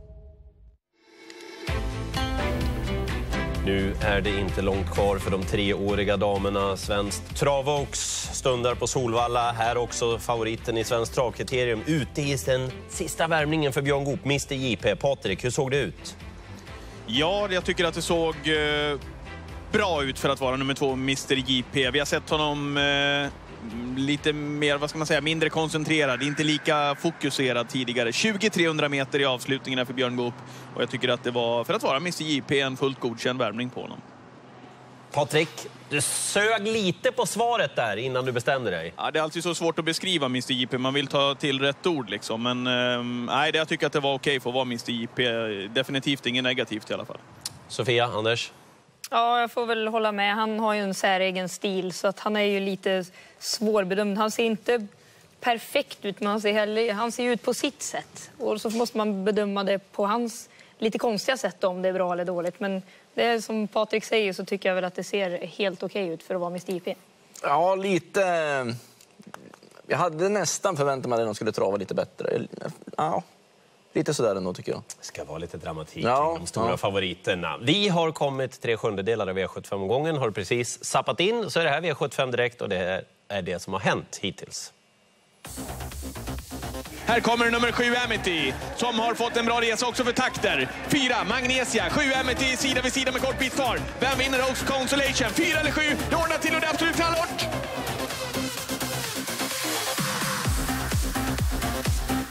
Men det är innemännen nummer två, Global Revenge, som har greppet om det här just nu. Ett Digital Collection kommer att närma sig något den sista biten. Två Global Revenge har du fortfarande med grepp med här, även om ett Digital Collection spurtar bra. Furious Francis lika så. Men det är en mycket fin prestation av nummer två. Global Revenge som landar in på preliminärt 12,1. Och han är så härlig att se den här hästen som Vör, som utklassar sina konkurrenter i Walter Lundbergs Memorial 2015. Han finåker den sista biten och räknar med en segergest också när Åke Lindblom pekar lite elegant och säger det var den här femåringen, den här killen som gjorde jobbet och han heter Sauveur. Och det ni ska veta om att eh, segertiden är en tiondel från världsrekordet som innehålls av Melby Viking. 10 Sauveur vinner för 13 Kenderhall, 11 Alcalay Ram, vinner 1,63. Systemnedräknaren visar följande.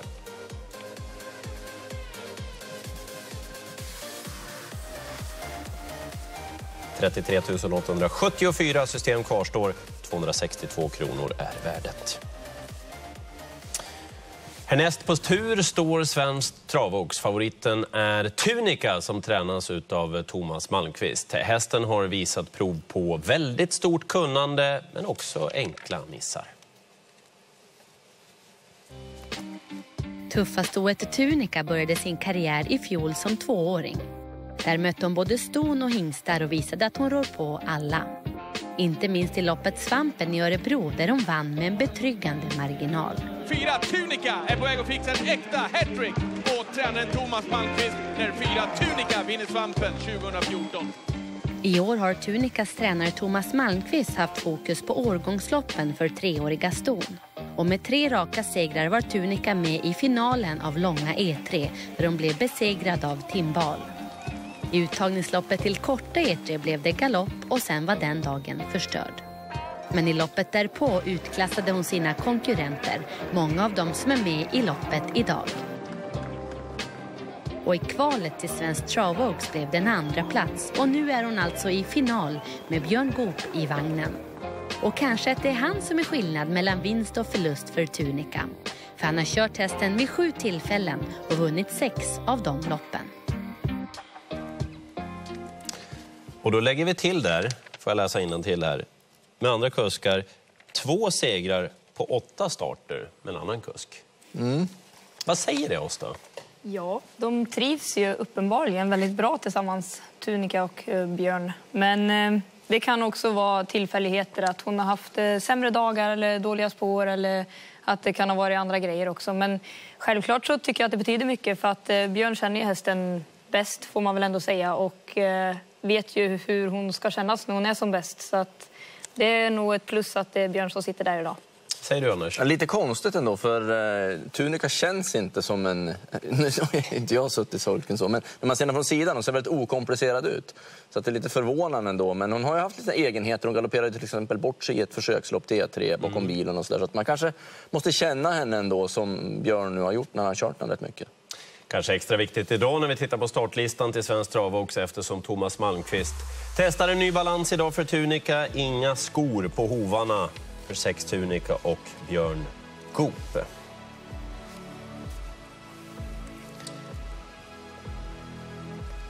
Fyra Trading körs av Erik Adielsson i det här loppet och är en allvarlig utmanare.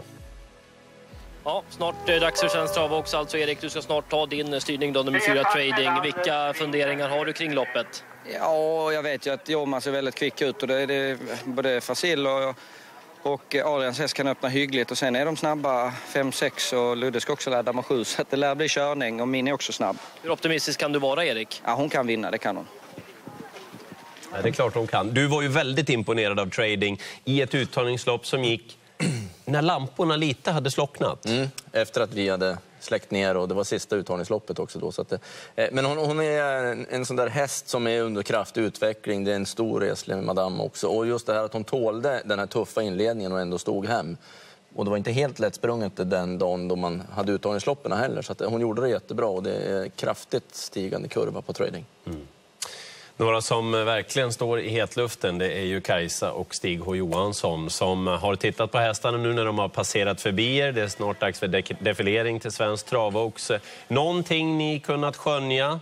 Någon som är lite piggare än de andra? Någon som har stressat upp sig? Någon kusk som har sagt någonting? Vad som helst? Nej, jag tycker inte att eh, jag har sett något eh, ovanligt här. De har knallat ut på banan i lugn och ro och sett harmoniska ut hästarna kuskarna är det svårt att läsa av tycker jag. För vi säger, det, jag tycker de, det är väldigt lugnt nu här på stallbacken. Ja. De går ut lite långsamt i defileringsvolten. Och... Är du också lugn, Stefan Hultman, som tränar Cayenne väl? Nej, det är jag faktiskt inte. Jag känner att hjärtat börjar att fara nu. Men det ska väl vara så, det är normalt. Ja, men du ser lugn ut. Ja, men det är skenet bedrar. Okej. Okay. Vad känner du, vad tror du nu inför loppet då? Ja, men vi har ju, jag fick ju välja som nummer fem och det är klart att jag hade jag fått valt tidigare så hade jag valt spår 1, 2, 3 jag menar. Nu fick vi välja spår 9 för att vi ville sitta andra spår och vi hoppas på att det ska bli den här körningen i loppet och det är en förutsättning för att vi ska komma till härifrån. Mm. Jag sa ju det till dig när du kom hit att Stig har stått nu här i, i alla fall en och en halv dag och berömt din häst. Ja, det blir jag smickrad över.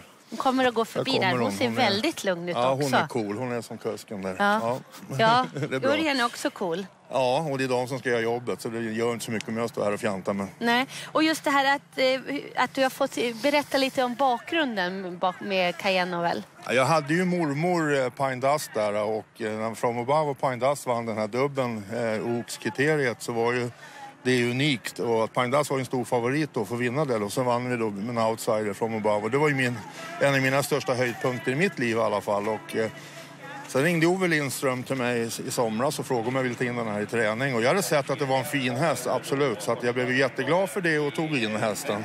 Men jag tycker hon har, hon överraskar positivt på mig i alla fall. Mm. Stå kvar här Stefan, vi ska kolla på defileringen nu till Svensk Travox. Då är de på väg in för defilering. Eh, dags för Svensk Travox. 2015, 1,4 miljoner väntar vinnaren. Lutfi Colgini eh, tränar nummer ett Passitia Face, Adrian Colgini. Stark i försöket och väldigt överraskande bra får jag säga. Bakom eh, nummer ett Pacitea Face kommer nummer två Fasil Boko. Tränas Bergsåker, Svante Båt, Johnny Takter kör.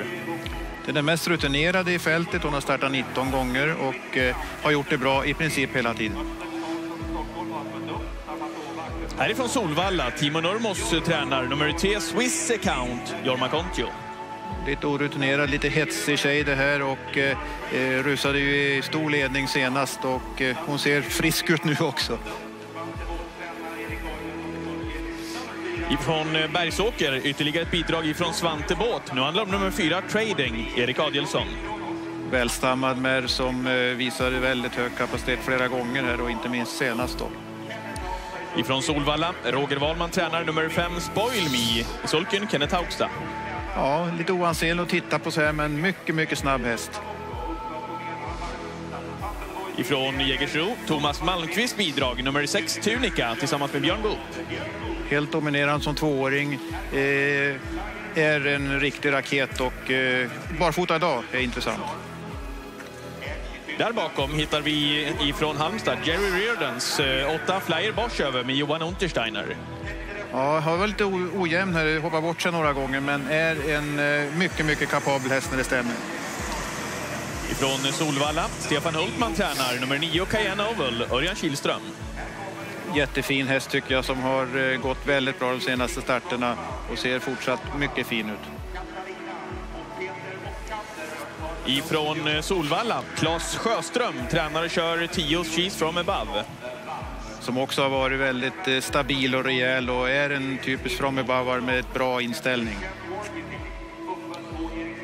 Ifrån Solvalla, Daniel Redén tränar 11 in Totosund, Ulf Olsson. Ja, eh, också en stabil och fin häst eh, som är väl lite snäppet under de allra bästa i loppet tycker jag. Och med eh, nummer 12 ifrån Jägersro, Björn Lindbloms Cerveza, Torbjörn Jansson. Också en väldigt kapabel häst men lite stökig och eh, har ju ett omöjligt läge idag egentligen tycker jag. Vi ska vänta in också. Avslutande nummer sju, Princess Face, som inte var med i defileringen, kommer här ifrån Jägersro tillsammans med sin tränare och körsvän Lutfi Colgjini. En elegant travare som eh, har imponerat många gånger här och trots det dåliga läget så får man ha respekt för henne. Där har vi de 12 startande i Svensk Travåk 2015. Avslutningen där, eh, apropå de stora lopp vi ska köra där. Jag vet att det inte är den pappan på Princess Face, men är hon inte kusligt lik Raja Mirchi med det här hon har på huvudet och den där massiva uppbyggnaden i kroppen? Håller ni med eller? Ja, lite grann. Nej, okej, jag fick inget medhåll på det. Strunt samma. Det som är värt att ta med sig från den här defileringen. Vi tittar väl på bilderna igen. Jag ska skicka frågan till både Stefan Hultman och Stig och Johansson också. Eh, Swiss account nummer tre. Hon rusade runt i sitt uttagningslopp och ser ut så här idag när Jorma Kontio ska defilera med henne. Vad säger ni? Ja, hon, hon, man ser att hon är väldigt på tårna och vet inte riktigt vart hon ska sätta ner benen. Det kommer nog att gå undan idag också, ser det ut som. Stefan Hultman som står vid eh, bankanten och tittar på Avel såklart. Vad tänker du när du såg det där från Swiss account? Jag hoppas hon är lika påtänd som sist, att det blir lite tempo. Det gör ingenting. Eh, Hur vill du att, att loppet ska bli kört då för, för er del? Ja, men gärna att det är en, två, tre hästar som laddar på ordentligt där och att ett par av dem blir lite hetsiga och inte att de kan ta upp, ta upp farten. Och sen att Örjan, när han vill gå in i handledningen, gärna så sent som möjligt. Och, och, ja, då tror jag att hon kan gå in i mål på ett bra sätt. Mm. Vi ska kolla till provstarterna, Patrik. Tre minuter kvar till provstarterna, eh, till start utav eh, Svensk Travåk 2015. Vi kikar till dessa alltså. Här ser ni en av de mindre betrodda, nummer 12 Cerveza. Letar efter nummer 3 Swiss Account. Här är nummer 6 Tunica på den bortre långsidan med 600 meter kvar. Provstartar till exempel nummer 1 Passitea Face och nummer 11 Intotosund. Tunica här bara i bakvarv.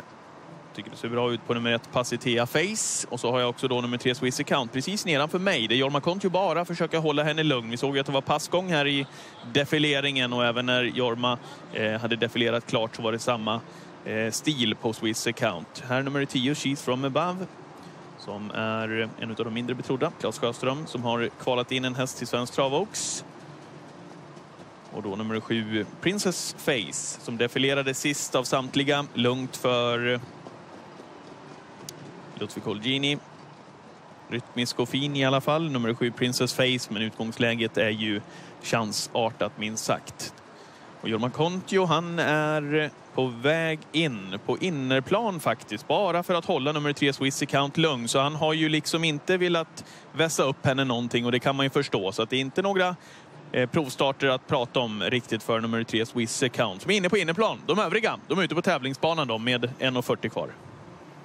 Vad säger du Stig om Swiss Account? Ja, det, ser ju, det är lite det jag spekulerar i, att det ska bli för högt tempo för dem som drar iväg Swiss Account eh, framför allt. Då, och det ska gynna Stefans häst Cayenne. Så att, eh, det är väl det han kan hoppas på tycker jag. Ja, vad säger du nu då? Avslutningsvis här inför loppet. Ja, som alltid, man vill att de ska få chansen hästarna. Att det inte blir några galopper och några nå, nå, nå tokerier. Så, sen eh, må bästa häst vinna. Jag hoppas att vi kan vara med där framme. Och hjärtat klappar här Ja, ute. det gör det lite för mycket. Du, lycka till nu då. tack snälla. Tack, tack. Alla är laddade. Vissa kanske lite för mycket. Vem håller huvudet kallt? Vem vinner? 1,4 miljoner minuten kvar till Svenskt Travox 2015.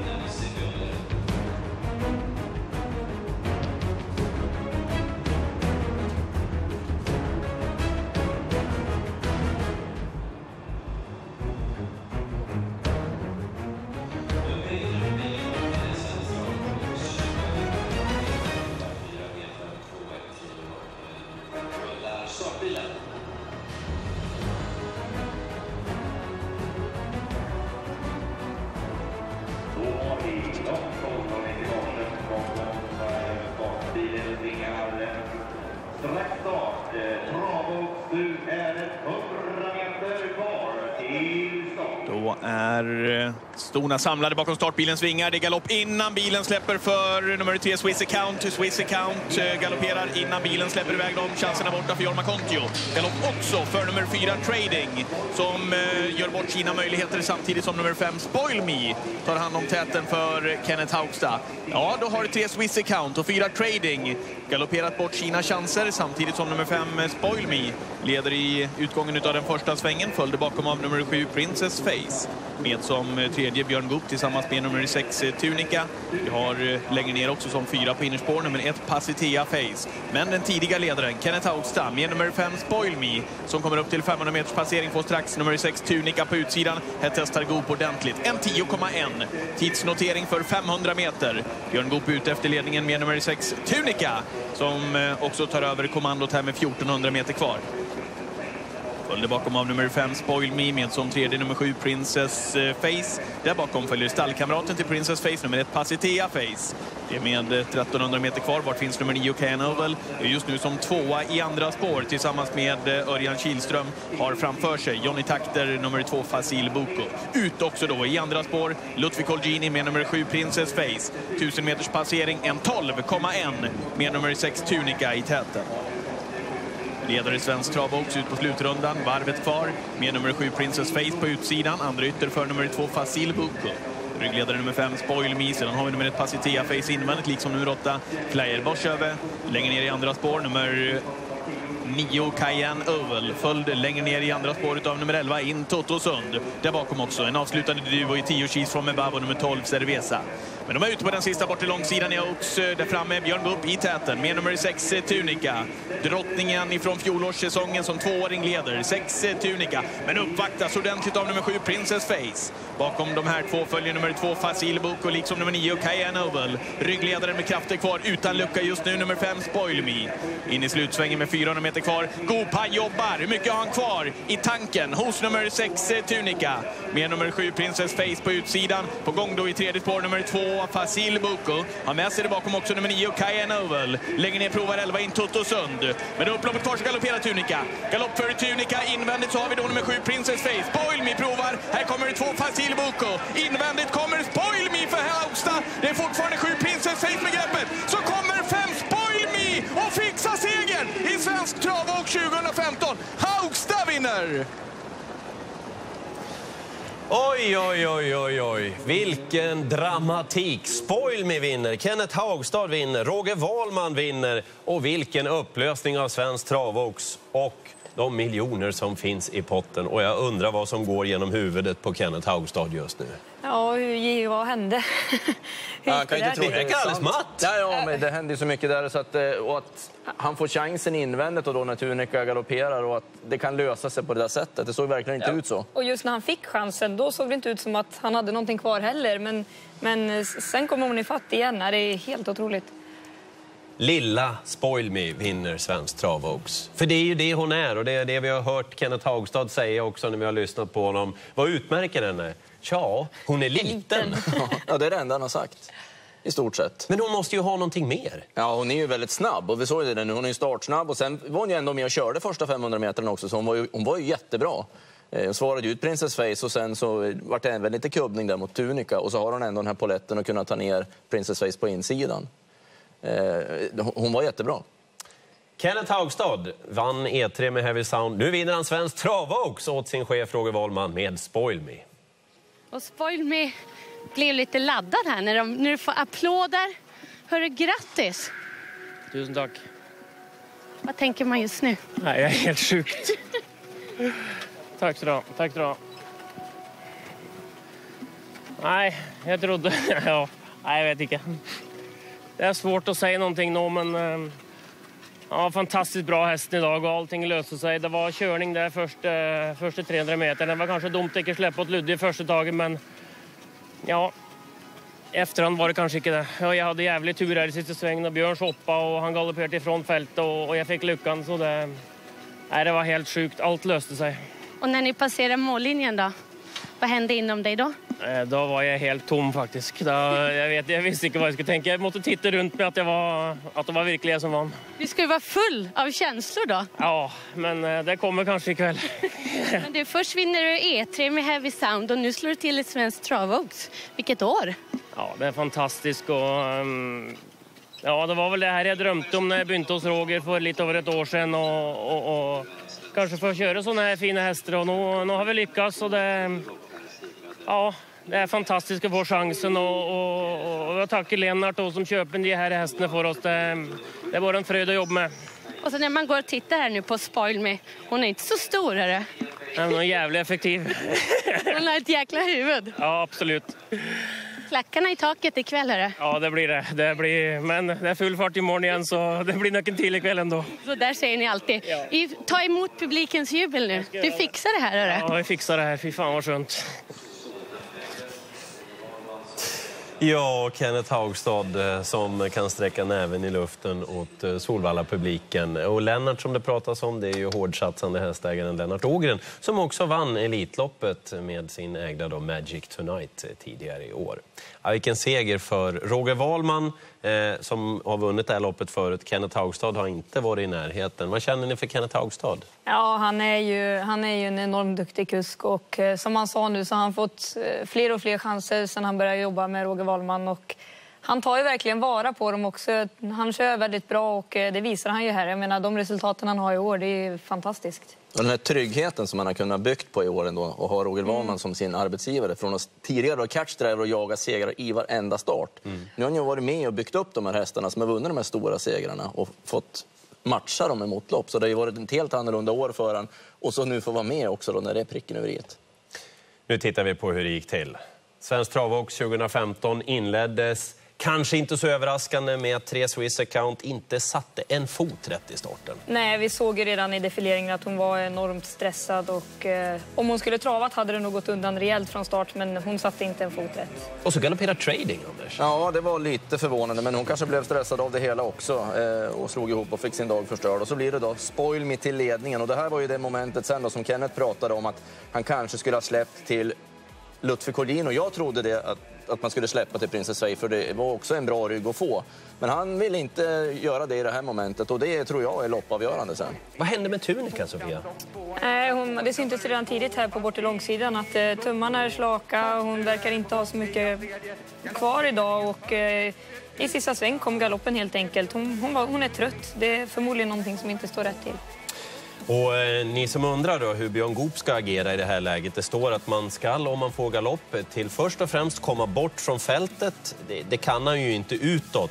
Eh, annars ska man bibehålla sin fart eh, vid galoppens skede. Och det där är ju någonting som Måldomonämnden naturligtvis tittar på. Men det är ju ingenting som Kenneth Haugstad på något vis har någon påverkan i. Utan han vinner loppet och får gå in i den stora vinnarcirkeln på Solvalla tillsammans med sin arbetsgivare Roger Wahlman, ägaren, skötare och alla runt omkring hästen. Spoil med vinner 32 gånger delar hon ut till sina anhängare i Svensk Travox.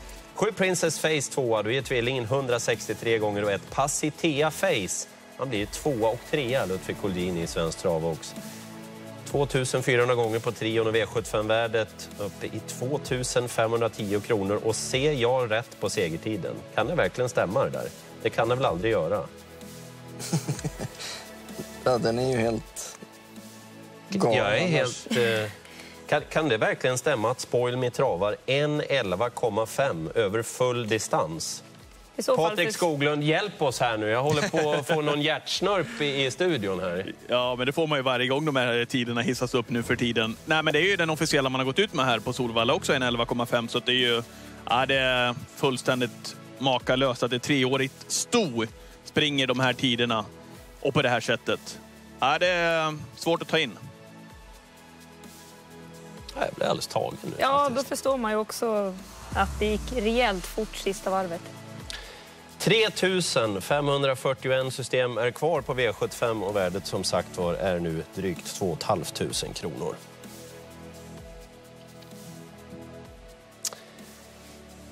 Ja, hörni, det var Svensk Travox det. Vi ska naturligtvis prata mer om det här loppet, men vi måste ju också blicka framåt mot Svensk Travkriterium som körs 16.40. För att blicka framåt så måste man kunna se bakåt och i Svensk Travkriterium så har ju många stjärnor fått sitt genombrott. Här är några utav dem.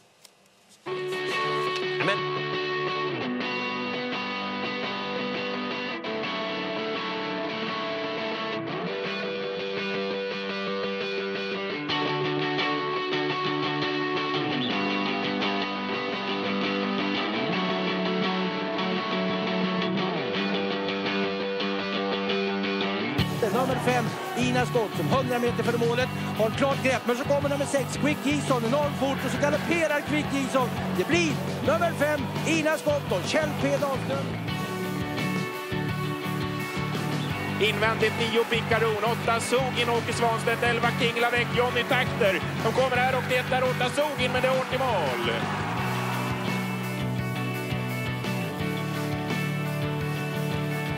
Fortfarande främsam för det är Björn Goop. Han vann storchampionatet med Carolinas Mystic. Han vinner kriteriet, den unge Björn Goop. Nu heter segerhästen Sampör! Glädjestrålande. Björn Goop har vunnit Svenskt travkriterium. Hjärtligt grattis! Tack så jättemycket.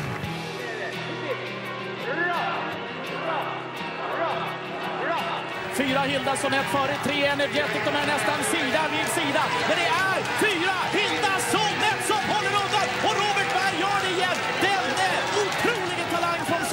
har fixat en kriterieseger igen. Kriteriet en gång till, Robban. Ja, det är enormt. Alltså. Men det är ingen hejd på framgångarna för Stefan Hultman och Örjan Kihlström. Här vill de kriteriet med From Above! Nej, det här är inte sant. Alltså. Det måste vara en dröm. Jag måste vakna snart. Nio Maharaja. Kihlström sneglar över höger axel. Han bara fortsätter lunka på. Han kommer att vinna Svenskt travkriterium med 30 meter. Oj, det var oj, oj. Nutja. Nio Maharaja.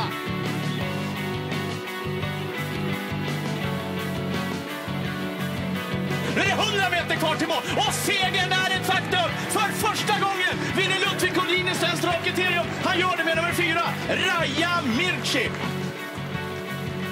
Mina damer och herrar, Lutfi Colgjini.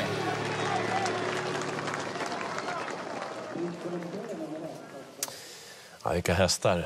som har fått sitt genombrott i det här loppet. Eh, gillar man trav så ryser man lite grann, det gör jag i alla fall när man tittar på de där hästarna. Svenskt travkriterium 16.40, då är det dags för de treåriga hingstarna och valackerna. Men eh, jag måste försöka bringa lite klarhet i mitt huvud här och lyfta in Stig i resonemanget kring Spoil Miss segertid. Eh, tvåan i mål, Princess Face. Crème de la Crème har alltså världsrekordet för treåriga ston på 1.12,1. Komma igen, ja. Hon springer alltså 1.11,5 spoil me Stig. Hon kapar alltså världsrekordtiden med sex tiondelar.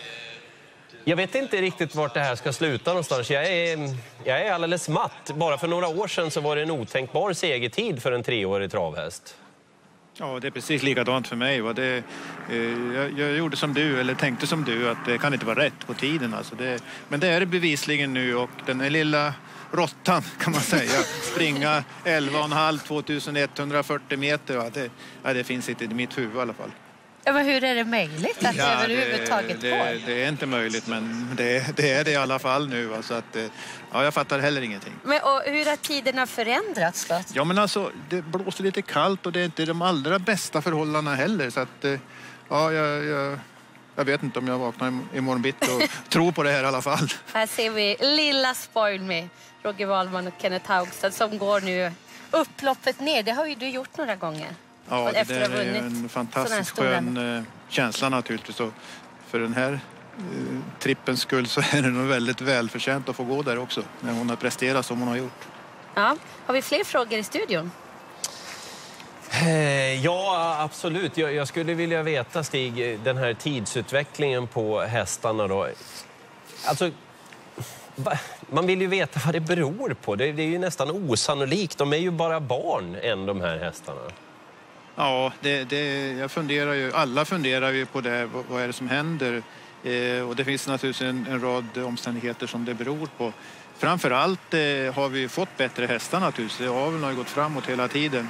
Och att också vi har bättre träningsmöjligheter. Vi är, vi är duktigare på att träna. Va? Så att, eh, det är väl de två, eh, bäst, eller de, de två egenskaperna som, som det beror mest på tror jag i alla fall. Men kan man göra en sån jämförelse? Ett treårigt sto nu, kan man jämföra med för tio år sedan? Vad var, den, vad var det för typ av häst då? Ja, men alltså de, de är ju 30-40 meter minst bakom de här som är idag.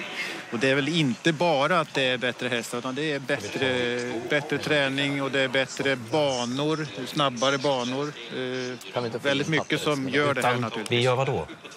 Mm. Stig, jag ska ställa en avslutande fråga till dig också. Eh, den här tidsutvecklingen på de unga hästarna, hur fort de springer, rekord på rekord. Jag vet att eh, man inte kan stoppa utvecklingen. Jag vet också att det, det är någonting som man, man hela tiden kommer att, att få leva med, att rekorden slås och så vidare. Tycker du på något vis att det går lite för fort? Att de springer för fort? Att det på något sätt i framtiden kan leda till någonting negativt? Ja, men alltså för 20, år, 20, kanske 25 år sedan så sa man, jag i alla fall så här, att det är väldigt svårt att ta tiondelar på de här snabba tiderna som de går nu. Va? Och efter det så har de sänkt 2-3 sekunder. Alltså, så att, eh, någonstans måste det finnas en gräns, men vi kommer inte att få uppleva den. Det kommer att fortsätta och, och rasa neråt. Och, ja, och varf, vad det beror på, det, ja, som sagt det finns många anledningar säkert. Vi har Spoil med här på stallbacken nu som går med sin fina lagerkrans och Kenneth Haugstad han går och tar emot kramar. Vi får väl försöka jobba på att få honom hit till bankanten för att kanske prata mer om den här otroliga segertiden som Spoil med travade i Oaks. Fint också att han eh, kramas om av eh, samtliga han möter nere på stallbacken. Eh, samma visa var det för Peter G Norman förra året när han vann Svensk Trav också.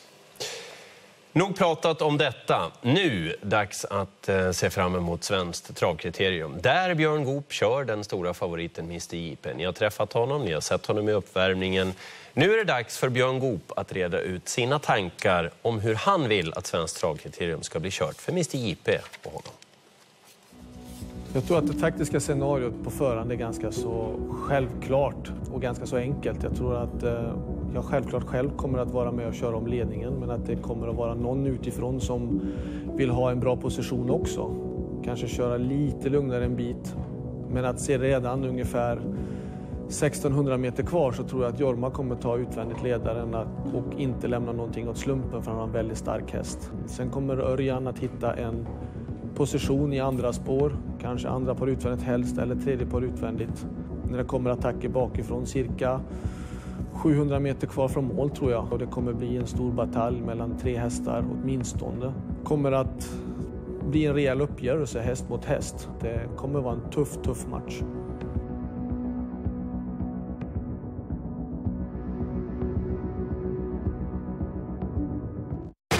Whatever it is, we're not prepared for it. Tio bio varje kväll klockan 10 i TV12. Det här är V75 Direkt och vi står och andas ut lite grann här på Solvalla. Vi har precis upplevt svenskt Trav Oaks och publiken de fick klappa åt det här ekipaget. Kenneth Haugstad och Spoil Me vann svenskt Trav Oaks och inte på vilket sätt som helst utan de travade, eller Spoil Me travade i alla fall, nytt världsrekord. Och i studion har vi fått in tränaren Roger Wahlman. Din spoil med springer 11,5 och vinner Svensk Travox. Ja, Hur känner man sig som tränare då? Ja, fan, jätte, jättenöjd selvfølgelig, men eh, tidene her, eh, det är ju fantastiska tider vad hästarna springer nu för tiden. Så man blir eh, förvånad varje gång, men samtidigt inte. Nej, vi har pratat lite grann om utvecklingen, vart utvecklingen är på väg. Och nu springer den här lilla spoil med 11,5. Världsrekord. Ja, det är fantastiskt eh, att skåda. Ja. Vad säger du annars att vinna Svensk Travox? Du har ju gjort det ett par gånger. Nu var det dags igen, hörru. Ja, men man vinner inte trav också för många gånger, det tror jag inte. Nej. Så, nej, det är bara att vara eh, jätteglad och tacksam för att få träna och, och, ha sådana hästar i stall. Ja. När du vann Elitloppet med Magic Tonight tidigare år, då tror jag du firade med var det en calzone som du Ja, åt det på kan, vägen. risikera, det kan risikera att bli samma idag för jag ska bara hem och jobba lite imorgon och sen ska jag åka till Lexington på 14 dagar så jag tror inte det blir någon stor fest idag heller. Men än är ju inte dagens slut heller. Nej, det är det inte. Du kan ju vinna kriteriet också. Ja, då blir det kanske dubbel calzone då. Det kanske det blir. Till studion som ska prata om tvåan tror jag i loppet i Oaks. Ja, men absolut. Vi vill ju koka ner det här till en uh, mysig dekokt uh, Svensk Trav innan det är klart. Tvåan i mål, Princess Face, går alltså. Loppet utvändigt är längden efter i mål. Jag, jag, jag finner inte ord för den hästens prestation. Nej, det var helt sagolikt. Nu var han ju lika bra, om inte nästan ännu bättre, än när hon vann E3 i Gävle. Hon var ju inte lika bra i uttagningsloppet senast, men hade fått en liten pust. Och nu var hon ju helt strålande alltså. För det avgörs ju i första kurvan. Eh, Kenneth Haugstad inte ville släppa till eh, Lutfi Collin. Annars vinner nog eh, vinner Lutfi Collin Oaks. Och sen så har han ju oturen då att Tunika, nu vet vi inte med Tunika om hon hade, hon hade ju fortfarande greppen att galoppera, men troligtvis tror jag att Princess Face hade tagit ner Tunika över upploppet och Spoil Me sitter fast bakom. Och nu får han stryk av en häst som kommer invändigt som egentligen inte ska få lucka. Hon gör ett fantastiskt lopp. Eh, Även om det var bra pengar in ute i stallkolginen så är det alltid surt att bli tvåa. Ja, en stor tapperhetsmedalj. Gå utvändigt i det tempot och göra jobbet. Det... Och ett treårigt sto i det tempot och allt det här vi har pratat om. Det, är liksom, ja, det går inte riktigt beskriva. Ja, Vilket hjärta hon måste ha den där hästen. Det jag kan eh, berätta för er också innan vi tittar på startlistan till V755 det är att eh, lite snabb huvudräkning då med premiechansningen. Det är någonting man kan välja som hästägare. Man tar inte en liten premie tidigt i karriären om hästen springer en viss tid utan man får dubbla prispengarna i våra största lopp. Om vi tittar på de som blev etta till sexa i Svensk Travåk så är det alltså någonstans runt fem och en halv miljon som betalas ut i prispengar. Inte så illa. Nu, V75s femte avdelning. Nu är det revanschen för treåriga hingstar och vallacker. Kriterier Constellation. Kenneth Haugstad ska ladda om nu och köra omgångens största favorit. Eh, Heavy Sound nummer 6, Patrik. Men det löser väl Kenneth? Super-Kenneth! Ja, han gör väl det av bara farten kan man väl tänka. Han är ju megafavorit tillsammans med Heavy Sound. Så att det är många som tror han ska vinna det här och det är klart med den här känslan som han åker ut med också till det här loppet så eh, så är det väl mycket som talar för att han fixar det där också. Jag tycker att Heavy Sound ser fin ut. Han gjorde det i värmningen här idag. Det var fint även här i, i provstarten. Eh, ja, eh, det är ganska så lugna provstarter här inför femte avdelningen. Det är ju väldigt många fina treåriga hästar här också. Och är de som inte kvalade in till kriteriet. Här har vi nummer två, Gijon till exempel, tillsammans med Björn Goop som är snabb bakom bilen. Så att, eh, ja, vi får njuta av eh, flera talanger här i V755. Den saken är klar. Och här är då eh, Heavy Sound och Kenneth Haugstad. Vad tror ni han tänker på när han sitter där? Ja, det är ju inte enbart positivt, eller det är ju för att vinna Oaks, men för Heavy Sounds del, det snurrar nu mycket tankar och det bara bubblar. Och, det kan vara att en taktisk disposition kanske kommer på kant i ett sånt här lopp. Det är... Menar du det? Ja, ja. Han vore förlåten om det skulle vara så. De är ju så pass proffsiga så att de gör ju sitt jobb. Men jag skulle inte vara helt förvånad om det skulle hända. Jag skulle kunna tro att nu innan, innan nästa lopp sitter han och så, men jag och funderar. Och, men jag tror att när starten går, då är det ett nytt lopp. Då tror jag inte att han tänker på det just i loppet. Men de är ju också människor, kuskar. Det är ju Ja, adrenalin... lite, exakt. Ja, lite så. Ja, men det jag tänker på, adrenalinpåslag. När adrenalinet går ner igen, det händer ju någonting i kroppen. Mm. Men nu måste det upp igen, Haugstad, för nu är det upp bakom startbilen i V75 bakom mångas enkelsträck för dagen. Heavy Sound. Tillika E3 vinnaren tidigare här i augusti månad, Heavy Sound, som har spår en bit ut bakom startbilen. 2640 meter är alltså kriteriedistansen här i V75s femte avdelning. Där startbilen släpper iväg dem eh, där. Hur öppnar sex Heavy Sound? Jo, bra. Eh, desto sämre går det för nummer 12 Allan Wadd som har eh, galopperat bort sina möjligheter. Samtidigt som 6 Heavy Sound är lite grann på mellanhanden första biten och två Guichon har tagit hand om täten. Verkar också som att Björn Goop vill ha den här positionen med eh, eh nummer 2 Guichon. Vill jag åtminstone inte släppa till nummer 3 Camelot Sisu. Där bakom har vi också invändigt nummer 1 Digital Bronze, Kenneth Haugstad 4 i andra spår. Vad säger du om utvecklingen för eh, storfavoritens del? Eh, Stig och med nummer 6 Heavy Sound, fjärde ytter just nu. Ja, han hade ändå lite tur som kom ner i rygg där för Örjan gick ner på innerspåret och det vart en liten lucka för honom att komma ner. Annars har han fått backa sig ända sist skulle jag tro. Vad känner du för de här treåringarna? Det här är ju luften det här också. 13,5 Ja, första fem. Ja, absolut bra hästar, så det är ingen eh, som sticker ut så där tufft tycker jag. Eller, men eh, blir lite tempo så tror jag Heavy Sound ändå är en bra häst nog för att vinna det här loppet. Verkar inte som att det blir något tempo överhuvudtaget. 13,5 alltså första 500 meter och nu har de pullat upp eh, vilket innebär att eh, det går väldigt långsamt. Eh, där vi alltså har nummer två, Gishon framme i täten på gång nu. Nummer nio, Ola Montana. Eh, och vad är Haugstad? Han sitter kvar längre ner faktiskt med Heavy Sound. På gång också nummer fyra, Wingate CH som är först fram via tredje spår när nummer två, Gishon, kommer upp till 1000 meter på väldigt långsamma eh, stig. En 16,2. De har kört 19 i 500 meter. Ja, det talar ju inte för Heavy Sound nu naturligtvis när det har gått så här sakta heller. Men eh, ja, och vad ska han göra? Det är inte så mycket att välja på här. Han får Nej, borde han ha tagit ett initiativ tycker du? Kanske före de här då nu Ja. med lite halvfacit i hand så, eller, så kan man nog säga så. Ja. Upp på utsidan eh, om ledande nummer två Gishon kommer nummer nio Ola Montana. Eh, där bakom följer nummer ett Digital Bronze, nummer fyra Wingate CH. Längre ner också nummer tre Camelot Sisu. Vi hittar alltså den stora favoriten näst sist och bara bakom sig 11 Bacon Legato. Eh, där finns alltså nummer sex eh, Heavy Sound. Eh, framför där också nummer fem Global Satisfaction när de har 1500 meters passering på 15 och 2. Eh, ska vi ta dem där framme då? Det borde bli svårt att ta någonting här i en speeduppgörelse för dem där bak. Kanske inkluderat eh, nummer 6 Heavy Sound-stig. Ja, det är klart att nu kommer de ha kräm kvar de här som kan gå rätt fort sista varvet och då får han gå i tredje spår, kanske utan draghjälp också. Då blir det nog väldigt tufft för att räcka fram. Där framme så leder nummer två Gishon ut på den sista bort till långsidan. Det är 700 meter kvar till linjen. 6 Heavy Sound biter det bra för. 4 Wingate CH provar ytterligare en gång. Här med 600 meter kvar. Är på gång. Är på väg att runda. Nu galopperande 9 Ola Montana. Nummer två Gishon travar 2000 meter på en 14,8.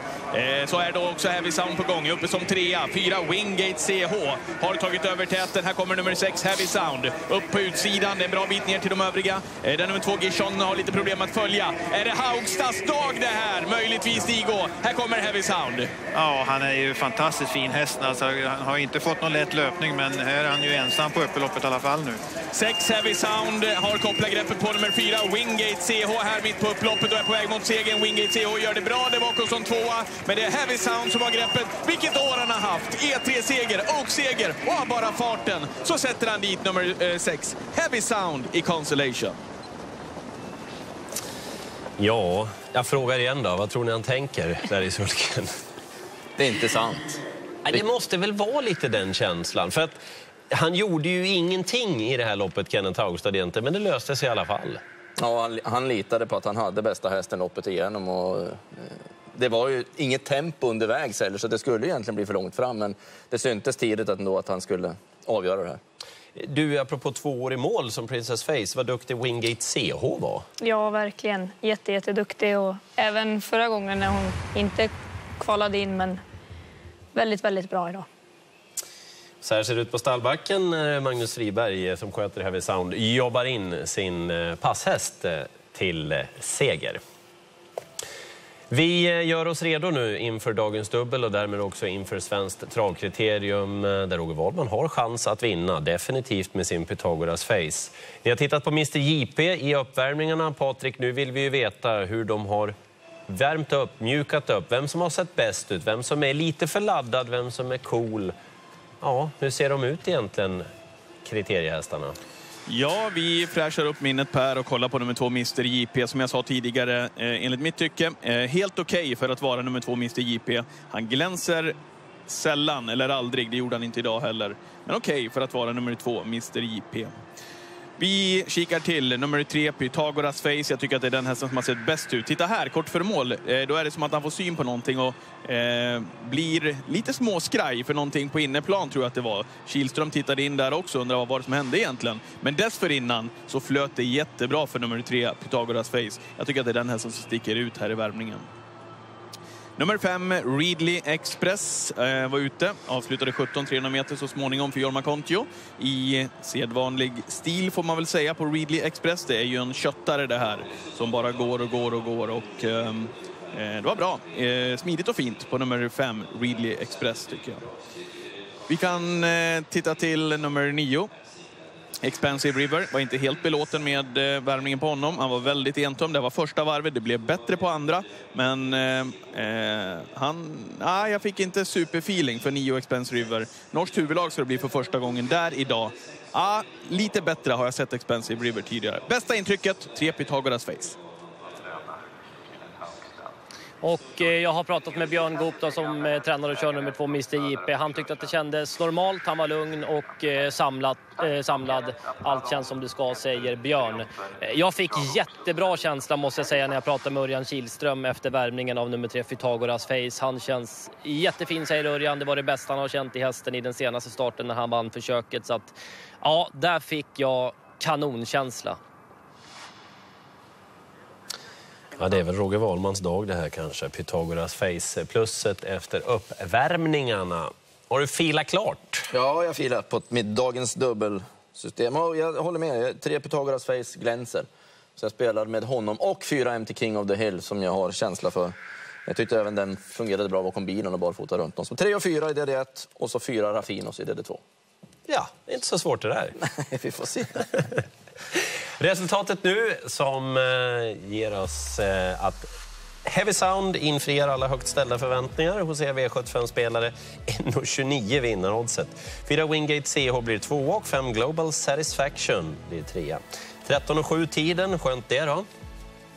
Att det inte var eh, någon ny sån här. Eh, V75-värdet 2745 kronor och V5-värt 764.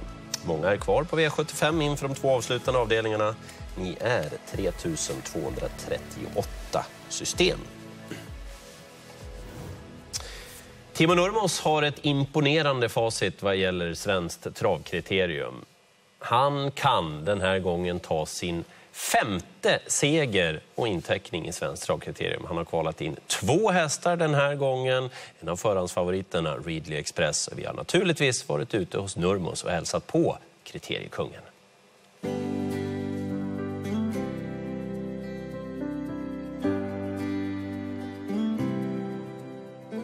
Det är otrolig häst, eller hur?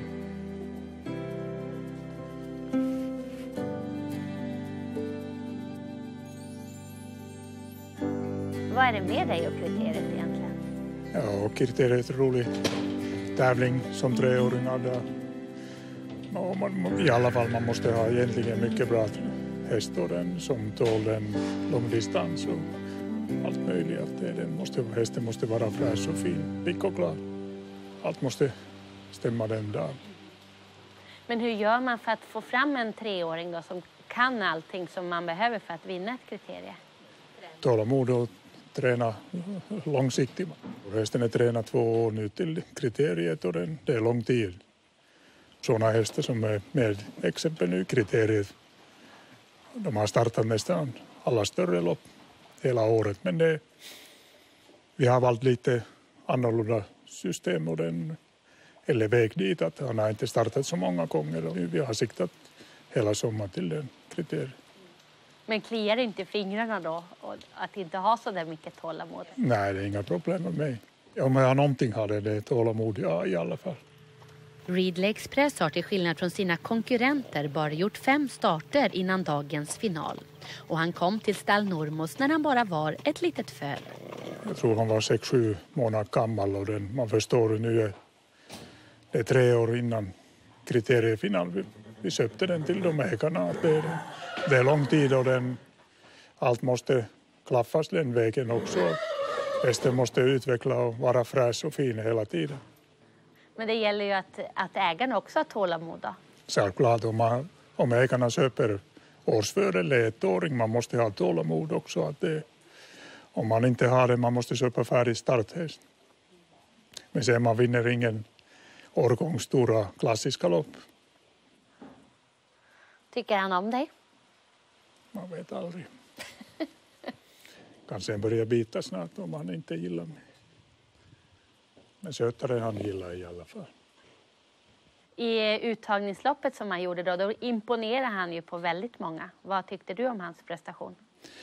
Ja, jag tycker också att han gjorde mycket bra men det, jag hade mycket förhoppningar också. Och, den, och kusken Jorma Söder som, han Söder som stjärna, att det är den.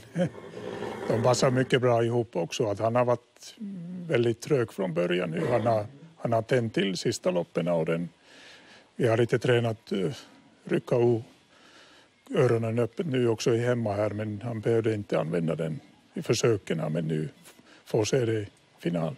Så det finns extra växlar fortfarande kvar. Jag tycker då han har bara fem lopp bakom sig att han är under utveckling.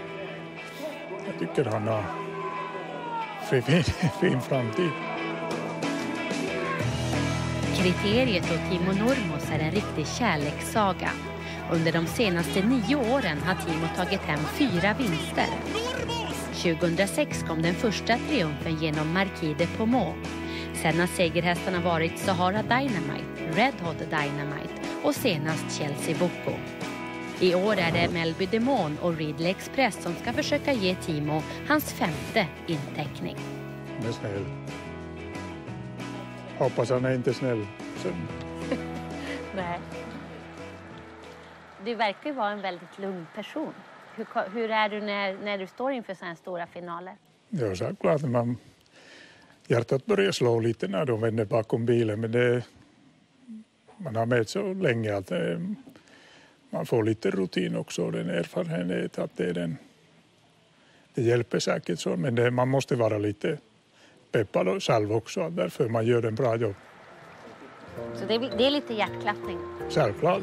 Ja. Det är något är fel om det inte kommer. Hur det går, den man, du kan fråga den söndag kväll men det, man måste hoppas alltid.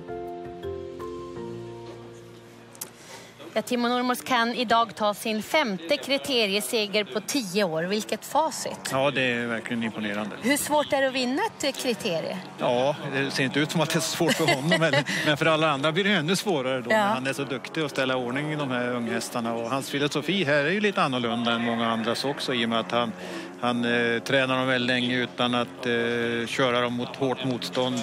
Eh, preparerar dem och, och, får dem i fantastisk författning eh, med att göra så. Han pratar mycket om tålamod. Det är det som gäller. men precis. Eh, Ägarna har väl också, måste också ha mycket tålamod om inte man startar så mycket. Man har haft hästen sedan den var sex månader.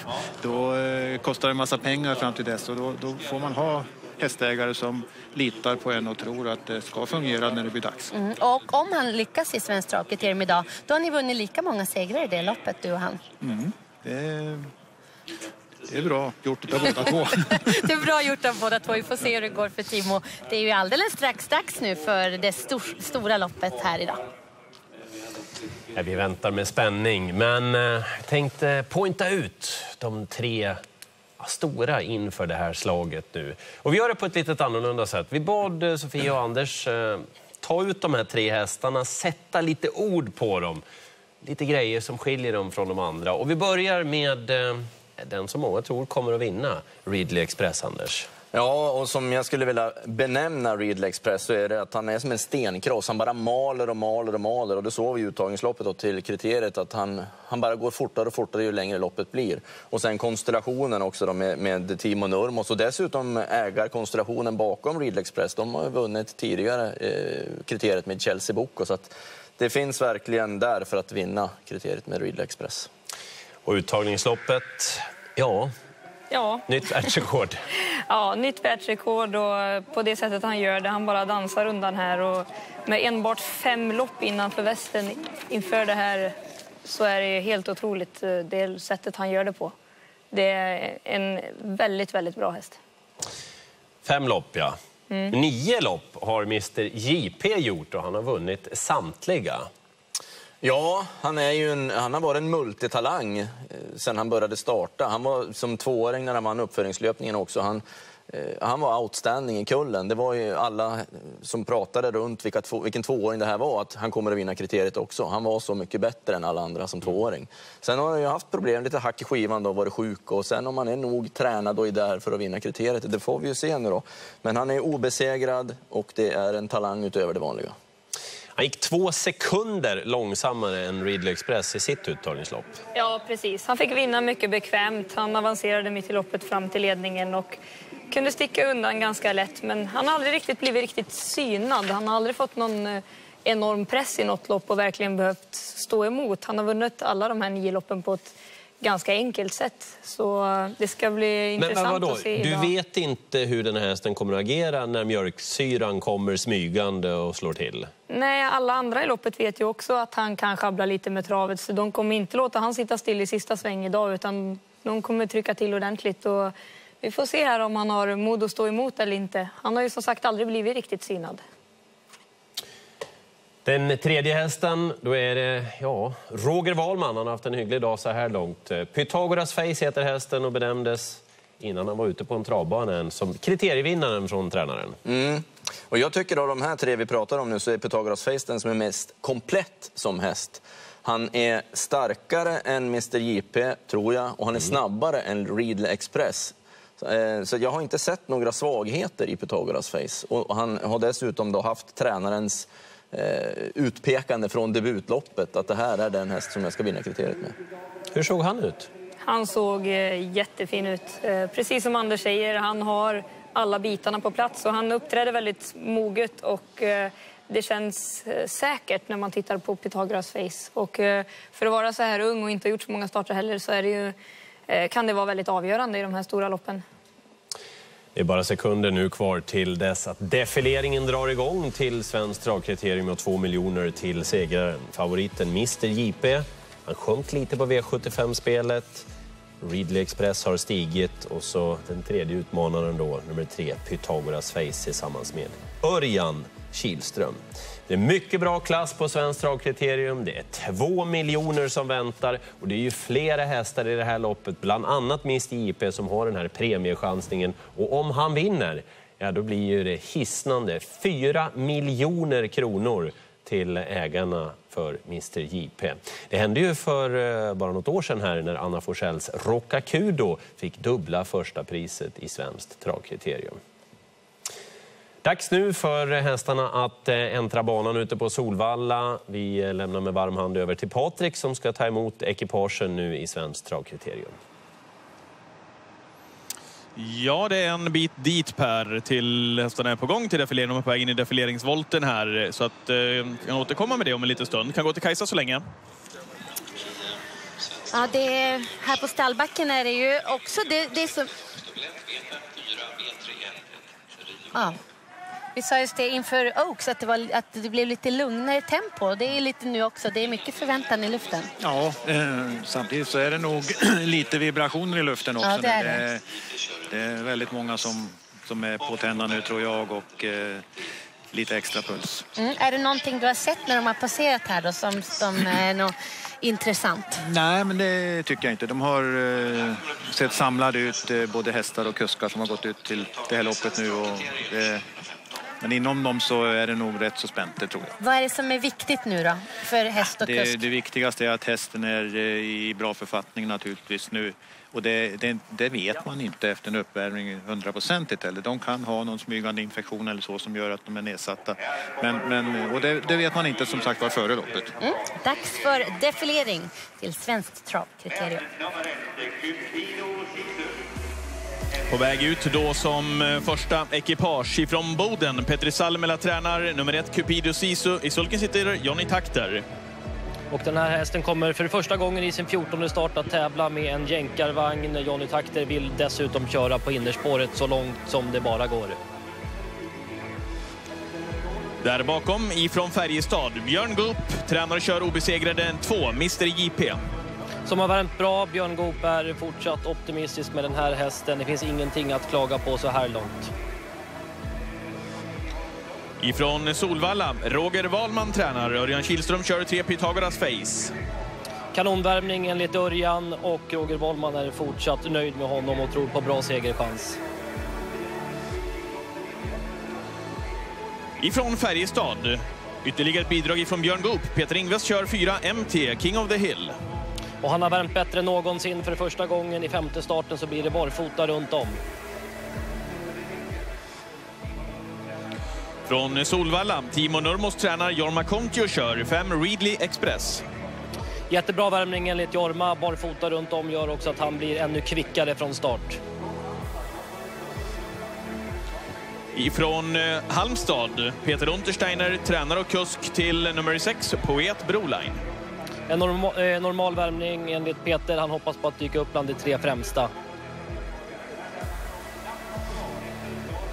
Där bakom i defileringen kommer ifrån Sundbyholm Eskilstuna Per Lennartsson som tränar och kör 8, Napascar. Ja, och från det här svåra spåret hoppas Per på en skaplig placering i, första hand. Han tror att det blir svårt att vinna. Ifrån Solvalla, Reijo Liljendal tränar. Ulf Olsson i sulken bakom 9 Expensive River. Och han var nöjd med värmningen. För första gången kommer den här hästen att tävla med ett norskt huvudlag. Ifrån eh, Färjestad, återigen ifrån Björn Goopstall. Roberto Andrighetti kör 10 Fortune Bucco. Ja, som gjorde tummen upp efter värmningen och det här kan vara en riktig outsider.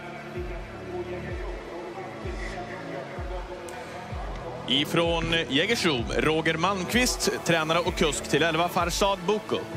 Ja, Roger är nöjd om han är 4-5 i det här loppet från det här svåra spåret.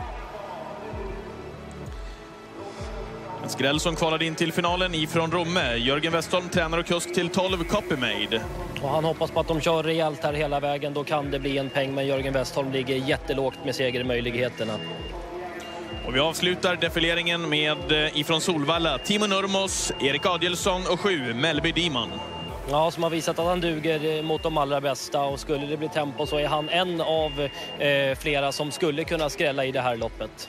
Två miljoner till vinnaren i Svenskt travkriterium. Defileringen där. Anders, ska du snabbt repetera det vi pratade om innan vid analysbordet här, hur loppet kommer att utveckla sig, tror du? Ja, jag tror att eh, Poet Broline nummer 6 är snabbast från början och tar ledningen för att sen släppa och då till nummer 2 Mr JP som håller ut 3, 4 och 5. Så att det blir Mr JP i ledningen runt första sväng ungefär. Och sen kommer förmodligen en fråga från Jorma Kontio. Eh, Och jag tror att Björn kör nummer 2 Mr JP i ledningen. Och du är av samma uppfattning, Sofia? Eller? Mm, det är jag. Eh, Vi kommer inte att kunna få se någon inledning liknande Oaks nu med överladdade hästar som galopperar bort sig och så vidare? Nej, ja, det, är inte lik, det är en längre distans här nu så att många tycker inte att starten är lika viktig som det är i Oaks. Eh, Och de är inte den karaktären, hästarna heller, som de var i Oaks, att de är väldigt laddade och så. Den här är det mer en eh, lugna, starka typen. Patrik, du får gärna berätta hur långt det är kvar till start i Svenskt travkriterium och ge oss provstarterna. Fyra minuter i detta nu. Här kommer nummer fyra, MT King of the Hill för Peter Ingves. Det var en härlig avslutning den hästen svarade från, för i sitt försök. Nummer tre Pythagoras Face då, bakom nio Expensive River. Den förstnämnda springer eh, mer rakt i vagnen nu än i värmningen, även om det är liten tendens till att hänga lite töm. Där bakom också nummer tre Pythagoras Face som alltjämt ser bländande ut. Ska det bli storslam för Roger Wahlman. Nummer ett Cupido Sisu. Också här i provstart för Johnny Takter. Kan ni tänka er att Takter aldrig vunnit Svenskt travkriterium? Ska han eh, lyckas här idag? Ja, utgångsläget perfekt i alla fall och fin ser han ut. Nummer ett, Cupido Sisu. Här är en häst som faktiskt ser bättre ut än vad man brukar göra. Det brukar inte vara några bra värmningar på Poet Broline, men det var bättre idag. Och även den här provstarten är ju betydligt, betydligt mycket bättre än vad han eh, kan se ut inför loppen. Nummer sex, Poet Broline. Väldigt eh, eh fin idag. Plustecken där. 12 Copy Made, eh, en av de minst betrodda hästarna i det här loppet. Det är också det sämsta utgångsläget. 11 Farsan Boko, det bakom också nummer 10 Fortune Boko. Ska vi se om vi hittar två Mr JP också. Som kommer här. Ja, vi hade honom där precis. Här är 9 Expensive River för Ulf Olsson.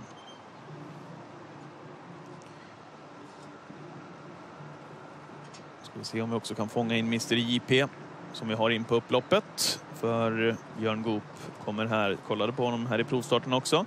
Eh, och känslan är, när man ska försöka summera ihop Mr JP, det är inte alldeles enkelt. Det är att eh, det ser helt okej okay ut för att vara nummer två Mr JP. Inte lika fin tycker jag som han var eh, på Jägersro i den näst senaste starten. Men jag tror inte Björn Goop är så det är jätteorolig efter hur han känner Mr JP här idag.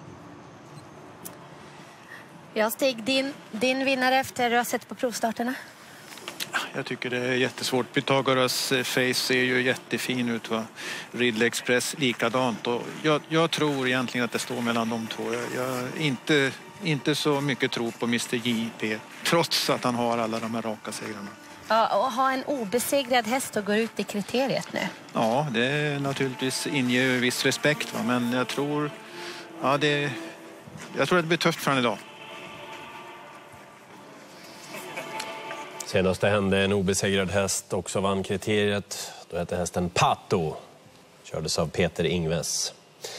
Svenskt travkriterium har vi framför oss. Det är två miljoner till vinnaren. Björn Goop kör favoriten Mr JP. Det är lång distans, utslagsgivande. Minsta misstag kan bli helt avgörande. En minut kvar till svenskt travkriterium.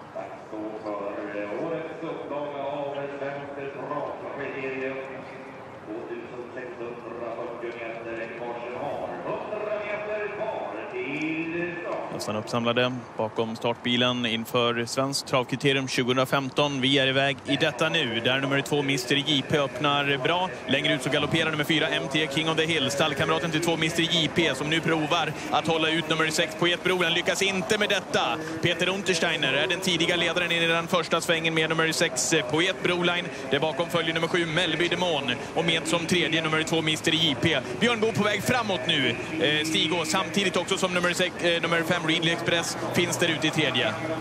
Ja, det var väntat att Björn skulle gå ut där, för han visste nog att han inte kunde svara på ett Broline. Nu får han överta här utan vidare. Men nu får han ju den tuffa hästen utanpå sig här och så får vi se om Jorma håller uppe tempot direkt. Första 500 meterna är en 11,1. En Två Mr JP som eh, startat nio gånger hittills i karriären. Aldrig förlorat ett travlopp. Har nu nummer 5 Readly Express eh, på utsidan. Där bakom kanonposition för Örjan Kihlström är nummer 3 Pythagoras Face. Sedan har vi där bakom invändigt nummer 7 Melby Demon som är trea på innerspår. Tredje ytter nummer 9 Expensive River. Och känslan är eh, Stig att de har låst positionerna nu. Nummer 2 Mr IP och nummer 5 Readly Express. Ja det tror jag. Det är ingen som vågar gå fram nu för att de tror nog inte att Jorma släpper fram, fram någon där. Det tror jag inte. Så att, eh, eh det blir den här ställningen nu och sen kommer Jorma trycka upp tempot sista varvet så jag förmodar. En 13,7 tidsnotering 1000 meter för nummer 2 Mr JP som leder med nummer 5 Ridley Express på utsidan. Rygg på ledare nummer 6 Poet Broline. Kanonposition ju! Eh, för nummer 3 Pythagoras Feistig. Absolut, det är bästa tänkbara position. Han behöver inte gå ut där, tycker jag, tror jag i alla fall, för en eh, kanske upploppsdags. Och nu kommer eh, Jorma Kontio med nummer fem Readly Express eh, lite närmare. Nummer två Mr JP. Är det Kontios tanke det att nu massera, massera, massera hela vägen in? Ja, det tror jag, men det är tufft naturligtvis för att hästarna bakom eh, Gotta gottar är så åt det naturligtvis också. 1500 meter på en 14,0 med nummer två Mr JP täten som ges ut på slutrundan i Svensk travkriterium 2015. Och han gör det tillsammans med nummer 5 Ridley Express som finns på utsidan i rygg på ledare nummer 6 Poet Brolan som ju har en bra avslutning, det vet vi. Det är bakom nummer 3 Pythagoras Face. På gång nu nummer 9 Expensive River. Vad gör Kilström nu när de kommer? Sitter han kvar tror du? Ja, jag tror att han gör det. När nio Expensive River är på gång här via tredje spår får med sig nummer 10 Fortune Boko. Bättre fart nu, upp för 2000 meters passering med eh, ledande Mr JP på 13,5. Vi kommer få en makalös duell tror jag Stig. Galopp för nummer 10 Fortune Boko. Ja, det, det, är väl tre hästar här som kan vinna loppet som jag ser det nu. Och det bakom alltså i andra spår finns eh, nummer tre Pythagoras Face. Men där framme i täten har vi nummer två Mr JP som leder med tuffingen 5 Readly Express på utsidan som nu går i närkamp. Eh, som är riktigt tapper på utsidan. Där bakom så är det Kihlström som ger nummer tre Pythagoras Face ett makalöst lopp. Och nu är på gång i tredje. Fortfarande Mr JP ska få vinna ner sig den första gången. Kolla på Readly Express som har greppet. Så kommer Kihlström med Pythagoras Face. Men det är fortfarande fem Readly Express. Kontio som har greppet om det här. Och det är kriteriekungen Nurmos som gör det igen. Och Kontio med Readly Express. Vilken bäst! Ja, helt, helt otroligt alltså att stå emot den här Örjanen och få ligga i draget hela tiden och så bara längan på steget i alla fall. Bästa hästen vann. Ingen snack. Örjan Kihlström som väljer att sitta kvar ger Pythagoras Face den absolut optimala resan och är chanslös, påstår jag. Ja, han kom ingen närmare. Alltså det, var, det var stopp där. Han kom, lyfte ut den i tredje spår och sen bara matar han på. Det var jag pratade om. Han bara maler och maler och maler Reed Express. Det är helt sjukt. Det är sjätte starten i livet. Översätt det Ja, till någonting hur... Alltså, det är en bebis. Han, det är liksom, han ska inte kunna det här nu. Han, han borde ha gjort minst dubbelt så många starter. Det är Timo Nurmos För att ha den här hårdheten i sig, för att kunna göra det på det här sättet. Kramkalas på stallbacken såklart i stall Nurmos. Och här har ni chefen själv. Den femte inteckningen i svenskt travkriterium. Och jösses vilken häst! Ja, du står och gör lite tummen upp, lite försiktigt. Ja, vi virrar lite efter, men det är otroligt bra häst. Helt otroligt. Men vilket lopp han gör! Det är otroligt. Normalt sett man vinner inte sådana lopp från dödens, hela vägen dödens. Också han var tredje spår första 500-600 meter. Helt otroligt. Visste du att du, det här fanns i honom? Ja, jag visste efter försöket att han, han hade krafter kvar och han gick den bra tid redan då. Och du fortsätter att vara makalös i det här loppet. Nu har du femte kriteriesegern på tio år. Ja, det är otroligt men det, man behöver bra hästar och allt måste stämma. Ja, men vilket jobb du har gjort med honom. Och jag var ju och hälsade på dig tidigare i veckan Timo. Då sa du tålamod, tålamod, tålamod. Ja, det är sant. Det är alla travspår med, med hästar, men det är precis unghästar man behöver tålamod. Vad säger du om Jorma då som satt i vagnen? Ja, mycket bra. De passar bra ihop.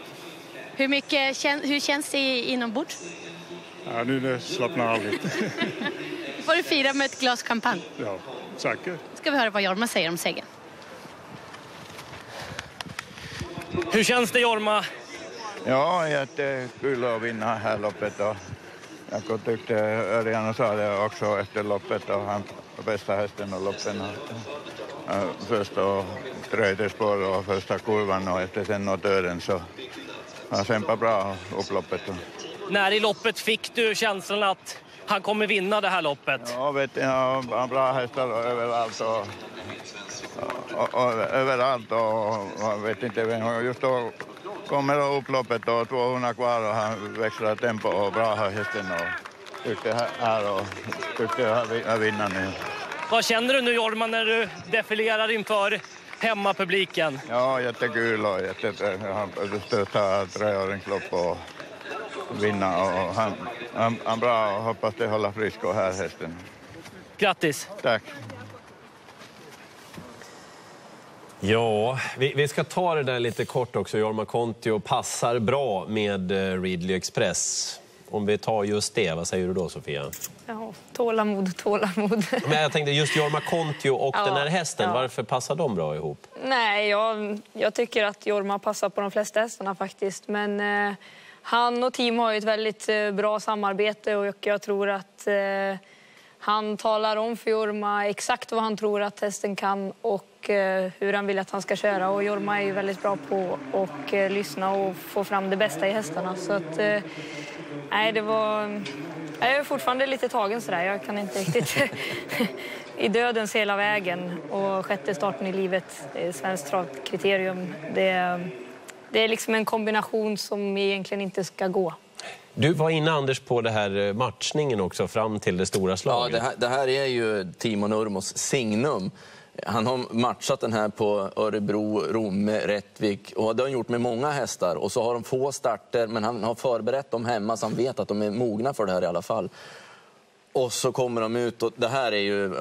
Ja, det finns inga ord egentligen för hur bra det här är. Men det, det är så mycket Timo Nurmos i det här så att det, det är verkligen... Ja, bara att lyfta på hatten. Patrik, hoppas att du har återuppstått nu efter det där mycket bra referatet. Jag undrar om du vill ta oss sista 600 metrarna genom Svenskt Dragkriterium och duellen när den här besten kliver upp på utsidan om obesegrade Mr JP.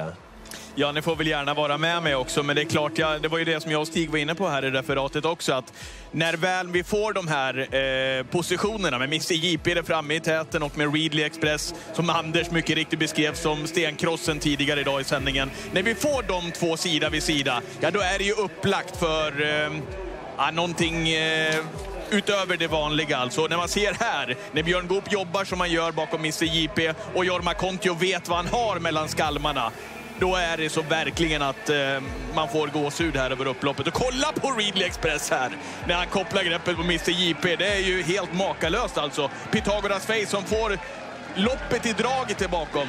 Eh, längden där bakom och... Ja, det är helt makalöst. Ja, nu fick ni inte vara med ändå, men det är klart, man kan ju prata hur länge som helst när man ser de här bilderna. Det är, det är, nej, det är ruggigt alltså. Vilken sport det här är alltså. Och noterar också, alltså när hästar blir eh, trötta trötta, när mjölksyran är lite för mycket, då åker öronen bakåt, de börjar sloka lite grann. Ni noterade säkert över målgång där va, när Readly Express skar mållinjen, Jorma Kontio fällde tillbaka körspöet och sa det är lugnt grabben, fixar det där. Åkte öronen fram, det var väl lugnt det här. Hur stark är han den här hästen? Ja, det återstår väl att se. För det känns inte som att han var... Han gjorde såklart ett väldigt bra lopp, men det känns som att han var kanske inte helt, helt bottnad idag heller. Och känner jag Timo nu så lindar han den här. Han ger han den massage och träningsförberedelse i vinter. Och så gör han någon start, inte många alls, och så är det derbyt nästa år. Sa du Maradja? Ja, det är faktiskt eh, vibbarna på det. Men han travar lite bättre så här tidigt i karriären. Resultatet utav Svenskt travkriterium har kommit till oss. Det ser ut på följande vis. 5 Readly Express vinner. 3,24 ger han i vinnarodds. 3 Pythagoras Face blir tvåa. Och så den tredje, är de vi har pratat om, då blir det trea. Mr JP får sin segerrad bruten. Och segertiden är nytt svenskt rekord. Det kan jag garantera om det är någon... Ja, det lär väl... Ja, vi slutar med det där nu. Vi tar det när vi kommer tillbaka så man får koll på alla siffror. 1.12,8 över lång distans är det i alla fall för treårige Readly Express. V75-värdet 5 613 kronor och det kvarstår 1 584 system inför den sista avdelningen. Ja, och så är det ett lopp kvar på V75. Vi ska naturligtvis snacka mer om svensk travkriterium. Det blir lite om svensk travox också såklart när vi kommer tillbaka. Och så är det ju I am unique lite senare i den sista avdelningen som i Peter G. Normans träning har utvecklats fint. Nu ska Erik Adielsson försöka sig på en ny seger. Han laddar hon lite i stallet inför loppet. Vi gör det också inför den sista avdelningen. Vi ses snart.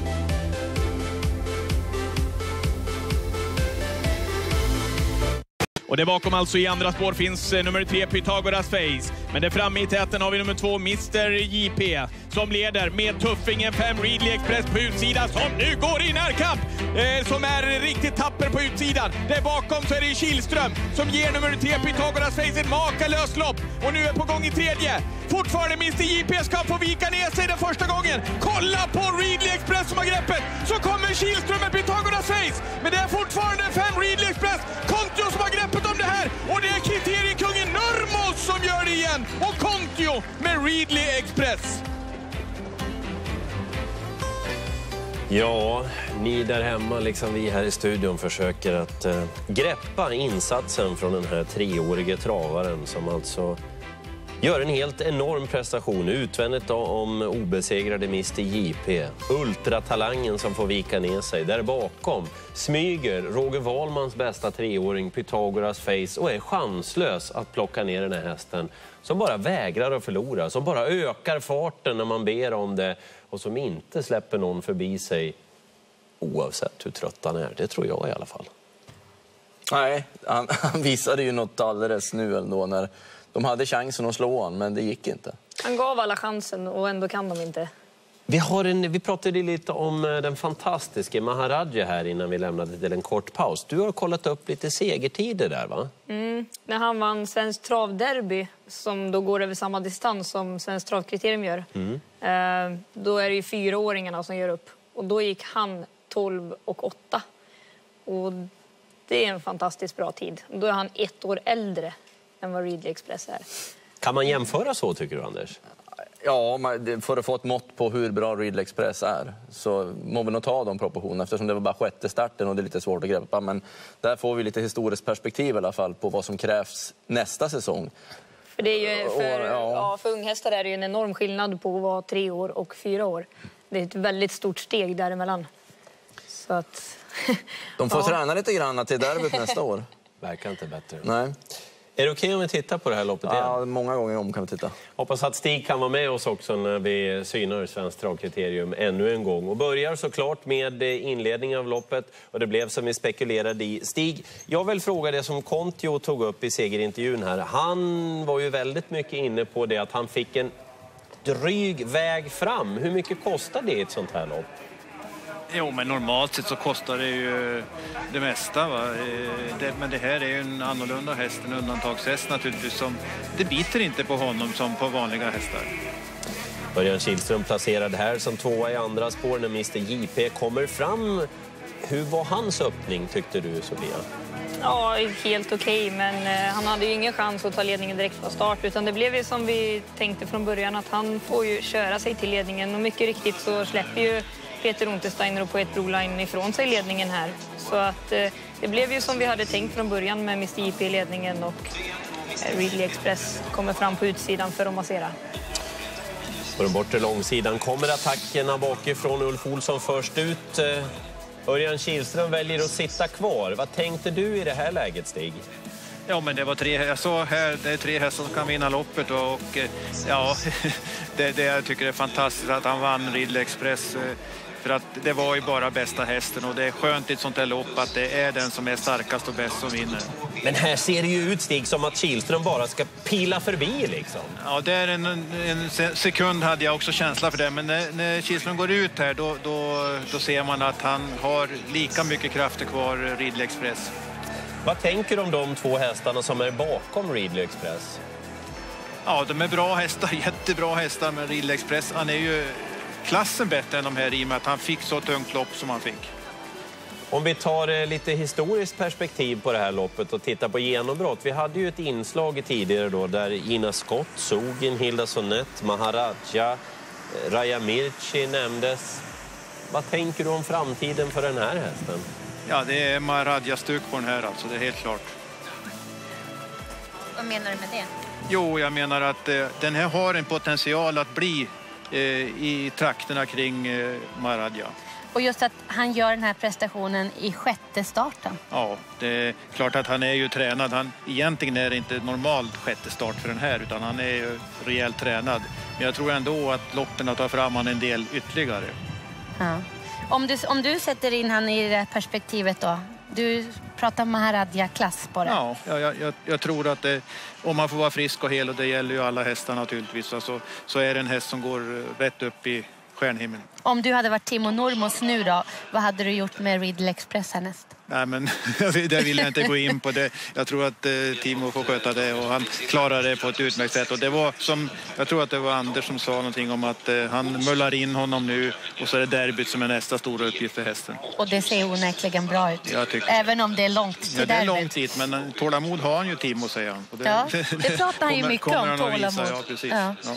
Så slutbetyget då, Riddle Express? Både Riddle Express och eh, tränaren Timo Nurmos får toppbetyg. Tummen upp härifrån. Ja, men häng kvar lite där, Kajsa och Stig. Anders står och hoppar här i studion. Ja, men, men en litet, eh, Stig har ju ett finger med i spelet kan man väl säga på något vis. För Riddle Express är ju efter Caddy Dream och hennes förstfödde. Och Caddy Dream var ju väldigt eh, framgångsrik hos Stig och var ju bland annat trea i Oaks. Så att det blev ju lite grann koppling även där. Ja, just det Stig. Det höll vi på att glömma bort, det, att du hade ett finger med i spelet där. Jo, men det var en kanon med det. Hon tjänade två miljoner och, och, och var riktigt bra. Va? Och att det skulle vara en kanonföljd det, det trodde jag på också. Men jag vet inte varför inte jag köpte den där hästen. Kan, kan, du se henne, kan du se henne på något sätt i Riddle Express? Ja, men hon hade så oerhört lätt för sig och det har den här också. Va? Så att, men hon hade ju inte det löphuvud som den här har, den styrkan som, eh, som sonen har heller. Du får köpa nästa avkomma. Det lär inte gå nu. Nej, det lär inte göra. Ja, skönt där. Man kan inte köpa alla hästar heller. Nu måste vi rikta fokus mot den sista V75-avdelningen. Det är ju fortfarande rätt många av er där hemma som är kvar på V75, eh, trots att det har skrällt lite grann. Sista avdelningen det är diamantstoets final och det är väldigt jämnt spelat mellan fyra hästar, ett Seattle Set, fyra Raffinos, Anders Malmroths vinnare, nio I'm Unique och nummer 15 Alvena Take It. Jorma Kontio han har nog inga problem att ladda om. Vi pratade ju lite om det för Kenneth Haugstad. Han löste det med Heavy Sound. Nu kör Kontio 7 Nicka Broline 21 000 blir det om hon skulle vinna. Vi har eh, tre stycken hästar som det är en liten stjärna på också. Det betyder att utdelningen överstiger 200 000 och då kan vi inte redovisa det. Minst, det blir det med hästarna 1 och 4. Där ser V5-utdelningen ut. 1861 med ett Seattle Set, 1900 med fyra Raffinos. Här skulle det kunna bli 24 000 med fem Tarragona Ås och 10 Kemas Winnie. Och så provstartar då för Kihlström. Undrar vad han tänker då. Han hade väl räknat hem kriteriesegern där mitt i sista sväng, Patrik? Är du säker på det? Nej, men han var nog eh, rätt säker på att han skulle bjuda bättre match än vad det blev. Ja, precis. Han var ju hemsk, eh, Readly Express, när han bara ångar på där. Och trots att Pythagoras Face fick ett kanonlopp så, ja, så blev ju inte marginalen. Eh, ja, marginalen var eh, verkligen till eh, Express fördel. Det var ju dryga längden innan det var klart för, för Kontios del. Här har Kilström Kihlström Raffinos som har sett fin ut här i värmningen idag tycker jag. Och de har ju verkligen ordning på grejerna. Här är stallkamraten för Kenneth Haugstad då, nummer fem Tarragona Ås. Eh, en häst som jag verkligen fick känsla för. Vi kan kolla på nummer nio, I am Unique först också. Som har tre raka segrar, utvecklats verkligen i Peter Normans regi. Erik Karlsson återigen upp alltså bakom I am Unique som har svarat för fina prestationer här på sistone. Har innerspår idag. Jo, den jag fick lite känsla för, det fick jag ju också i den senaste starten, men då var hon ju betydligt mer spelad. Då hon vann på Jägersro. Det är nummer 13, Bailey Sweet Grim. Peter Ingvers ersätter Thomas Urberg idag och det var helmysigt intryck idag. Eh, Flemming Jensen tryckte ju iväg ordentligt bakom startbilen inför den starten eh, senast på Jägersro. Och han fick sånt härligt gensvar av Bailey Sweetgrim. Hon verkar ha tagit det loppet på bästa tänkbara sätt i alla fall. Fyra, Rafinos provar liksom nummer 14 Kimon och Pöl på den bortre långsidan. Men eh, ja, jag får lill-feeling för att 13 Bailey Sweetgrim gör ett bra lopp idag igen. Det är nästan 14 gånger pengarna på henne faktiskt. Jag som känner Patrik, eh, det där var en direkt uppmaning till att... eh, Spela. Ja, det är det. Ett förtäckt spela. Ja. Kan det vara något? Det kan det absolut vara. Hon är ju så pass bra som kan vinna där. Det är ju frågan om hur långt bak hon hamnar. Det är ju ett litet bökigt utgångsläge. Eh, Och många kommer att vara intresserade det sista varvet. Så att, eh, det gäller ju att det blir rätt med ryggar. Men bra intryck nu och formen är ju verkligen där den ska vara. Så att, varför inte? Jag spanar bara av Twitterflödet lite grann och många pratar ju om den fantastiska prestationen från Readly Express men också den rekordslakt som han står för. Satte ju svenskt rekord i uttagningsloppet. Eh, nu sänker han det med ja, vad blir det? sex tiondelar va?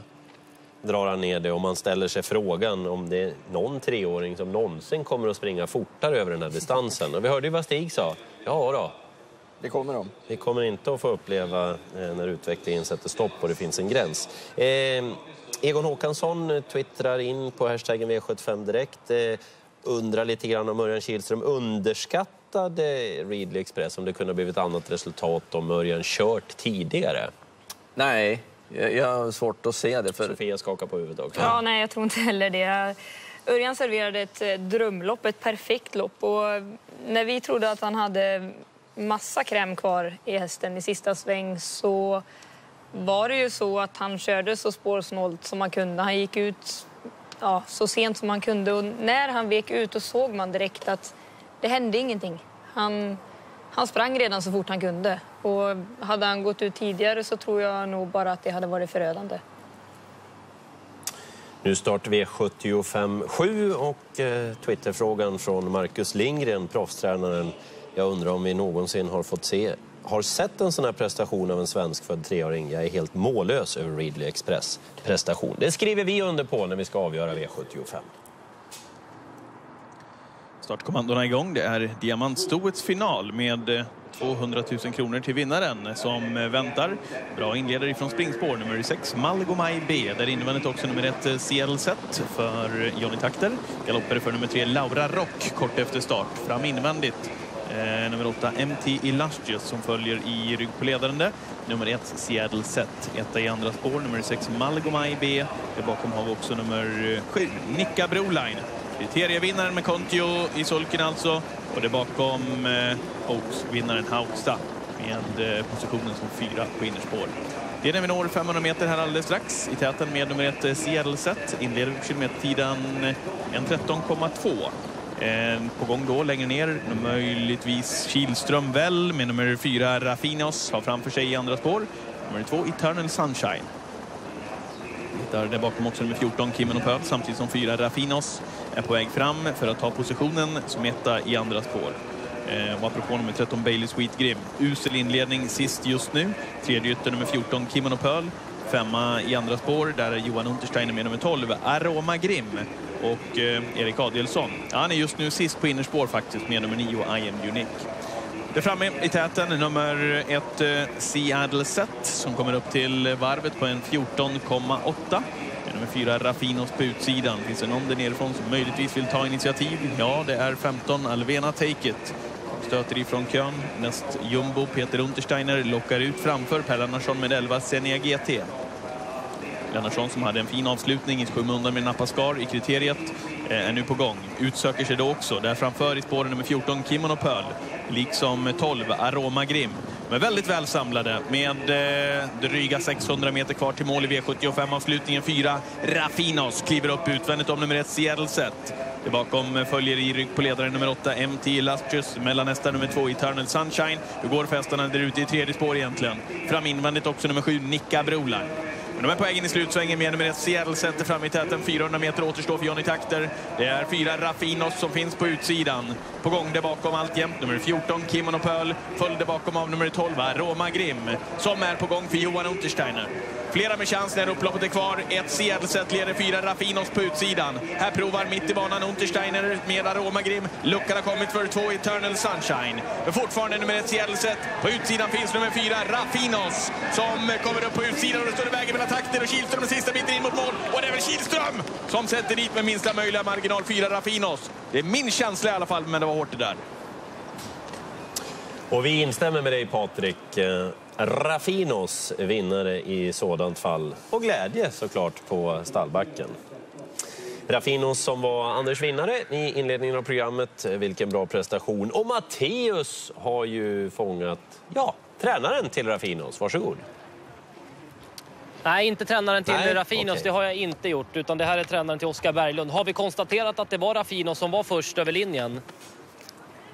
Eh, det har vi inte gjort än, men vi tror det Matteus. Å andra Ja. sidan kan man ju säga att Seattle Set gjorde ett väldigt bra lopp. Så du kan väl gratulera till åtminstone 100 000 kronor in. Ja. Ja, precis. Vad säger du om eh, loppet? Nej, klart jag är jättenöjd liksom var två här, men samtidigt lite surt att hon inte kunde hålla undan. Men hon gör det så bra så jag är nöjd ändå. Vi ska ju säga det att vi är inte säkra på att, på att det blev en andra... Ja, det, det, det är säkert. Eh, Hästen blev tvåa och 100 000 kronor in. Ja, det är ju fantastiskt för en liten amatör som mig, så att det är jättekul såklart. Jag får gratulera. Tack. Har du koll på den där killen Anders?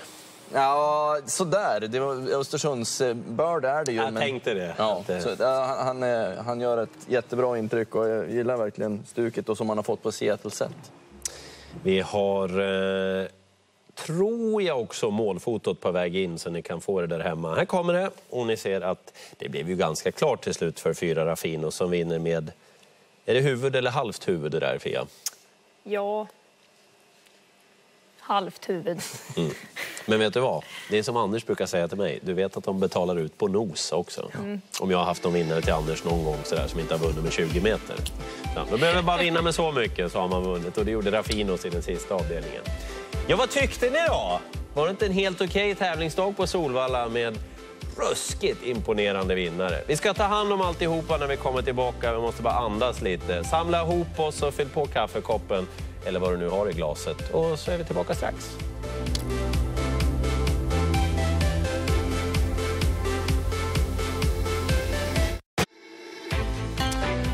Ja, vilken dag det har varit på Solvalla. Tack för att ni har varit med oss hela den här eftermiddagen. Och ni ska få höra än mer från Kriteriet och Oaks om bara en liten stund. Jorma Kontio och Timo Nurmos stora segerherrar på Solvalla med sin Readly Express som slaktar sitt eget svenska rekord med sex tiondelar och gör det med en oerhört tuff löpning. Och inte rör han väl särskilt mycket på näsborrarna i segerdefileringen heller. Vad är det de säger i Östersund? Hua! ja, okej då. Eller? Ja, jo, jo, ja. Hörrni, vi ska ta och titta på de rätta raderna nu för eh, V75. Vi har fått eh, samtliga resultat till oss. Sista resultatet eh, vad gäller lopp är fyra Raffinos i V75 7. Fem gånger som vinnare. Ett Seattle Set blir 2 och 8 MT i last 23. 13 och 1 tiden och tvillingen 14 gånger. 7 rätt betalar 9 214 kronor. 98 kronor på 6 rätt och så är det jackpot på 5 rätt som flyttas över till nästa lördag. Dagens dubbel, 5 Readly Express, 4 Raffinos 14 gånger ger den dubbeln.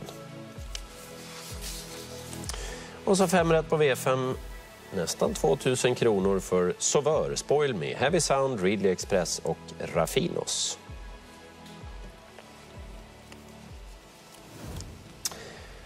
Spoil Me, som eh, travade en 11,5. Och vilket lopp gjorde Princess Face utvändigt hela vägen för Lutfi Colgjini. Det var ett av de häftigare travlopp jag har sett hittills. Jag är inte lastgammal ännu, men något travlopp har det blivit. Och Spoil Me vinnare tillsammans med Kenneth Haugstad. Men vad tänkte egentligen Lutfi Colgjini efter det här loppet? Först fick han svar av Haugstad om ledningen och så blev han passerad på insidan vid mållinjen. Ja, Lutfi, hur summerar du loppet som hon gör, Princess Face? Hon gör ett fantastiskt lopp och 11,5 full väg och kör från start och går ut på utvändigt om ledaren 12-1300 meter kvar och gör ett fantastiskt lopp alltså. Blev du förvånad när du inte blev släppt till ledningen? Nej, jag trodde ju att eh, skulle välja att släppa ledningen till mig, men eh, han valde att släppa till Tunika istället. Och, ja, det blev ju rätt för honom den här gången, men det kunde lika bra blivit riktigt iskallt om inte Björn galopperar i högt tempo på upploppet och släpper ut honom. Hur bra är den här treårskullen bland stona? Jag tror det är länge sedan vi såg en sån riktigt bra kull som vi har. Den är jämn och bra och de flesta i loppet kunde vunnit loppet. Och min Pasitea Face till exempel satt ju som trea med massor av krafter kvar i mål. Så att, eh, nej, det är en fantastiskt bra kull. Eh, Har du koll på det? att Spoil Me, hon slaktar världsrekordet med över en halv sekund. Och då gick min utvändigt eh, ledaren och han smög invändigt. Så det säger allt om vilka prestationer de gör hästarna. Så är det ju. Jag anar också ett litet stänk där mot Björn Goop. Galopperar undan i högt tempo. Vi var ju in lite grann på det där hur man ska agera som kusk när man får galopp i det där läget. Vad tänker ni om Goops agerande? Ja, han vill ju såklart inte vara i vägen för någon i ett sånt här stort lopp på upploppet. Så självklart så... Man ska ju galoppera på och ta sin häst ur fältet. Man ska ju heller inte störa någon. Så det, ja, hade hon inte galopperat i det läget utan bara varit trött men fortsatt trava, då vinner ju Ludde loppet. Vi tar väl och tittar till eh, kriteriet också och eh, upploppet där. Där Mr JP fick se sig besegrad för första gången i sin karriär. Detta av en bäst i form av Readly Express. Förbi tog sig också Pythagoras Face tillsammans med Örjan Kihlström. En otrolig prestation och ingen skam såklart att förlora mot Readly Express. Björn Goop säger så här om svenskt travkriterium. Ja, nu har du fått lite distans till loppet, Björn. Eh, vad säger du? Nej, jag, föll, jag tycker min häst föll med flaggan i toppen då. Han gjorde bra lopp. Vi mötte en häst som var fantastisk, som, var en värdig vinnare. Och så fick vi stryka av en häst som liftade med bakom. Det är inte så mycket att säga. Jag tycker att min häst gjorde ett bra lopp. Vilken känsla fick du, eller hade du drygt 800 kvar? Ja, det kändes bra, men samtidigt så såg jag vad bra Jormas häst var och vad, vad även liksom vad Örjans häst såg, såg bra ut. Liksom. Det var en fantastisk prestation på fantastiska tider. Jag, menar, jag hoppades och trodde väl att min häst kunde göra den tiden han gjorde, men det var två som gjorde det ännu bättre. Det är inte så mycket att säga ändå. Jag tycker att jag är nöjd ändå. Vad säger du om den här kullen?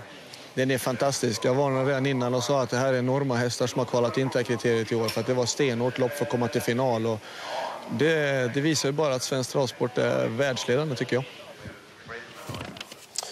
Vi eh, passar väl den vidare till Stig och Johansson tycker jag som på något vis får sammanfatta den här eh, kriteriesöndagen åt oss. Svensk travsport är världsledande säger Björn Goop Stig. Ja, eh, vi har ju pratat om det här. Det har ju varit sådana prestationer idag som man knappt kunde tänka sig när man gick hit idag. Eh, och det är som bredd på, på hästarna här också. Det är inte bara en som sticker ut utan det är väldigt många av de här treåringarna som, som Björn säger också, att, eh, och även Ludde då, att eh, de har en potential att bli riktiga kanoner. Så att ja, det är bara att må bra och njuta av vad vi har sett idag. Och vi har haft en superbra dag här vid bankanten på Solvalla. Strålande jobb dessutom. Tack så hemskt mycket för idag. Tack säger jag till er två också. Tack Nu får ni gå hem och smälta alla intryck efter den här dagen. Jag undrar vad Kenneth Haugstad gör ikväll. Jag undrar om det blir verkligen upp och jobba direkt imorgon. Lite måste man väl unna sig när man vinner på nytt världsrekord. 1,4 miljoner i Svenskt Travox, tycker ni inte? Tack för att ni har bidragit på Twitter också. Och så missar ni inte Onsdag Express. V86 i expressfart, kryddat med 9 miljoner i jackpot. Jag hoppas att vi ses då och att ni lutar er tillbaka nu. Vi fortsätter en liten stund till i TV12 och sammanfattar i Vinnare V75. Tack för nu.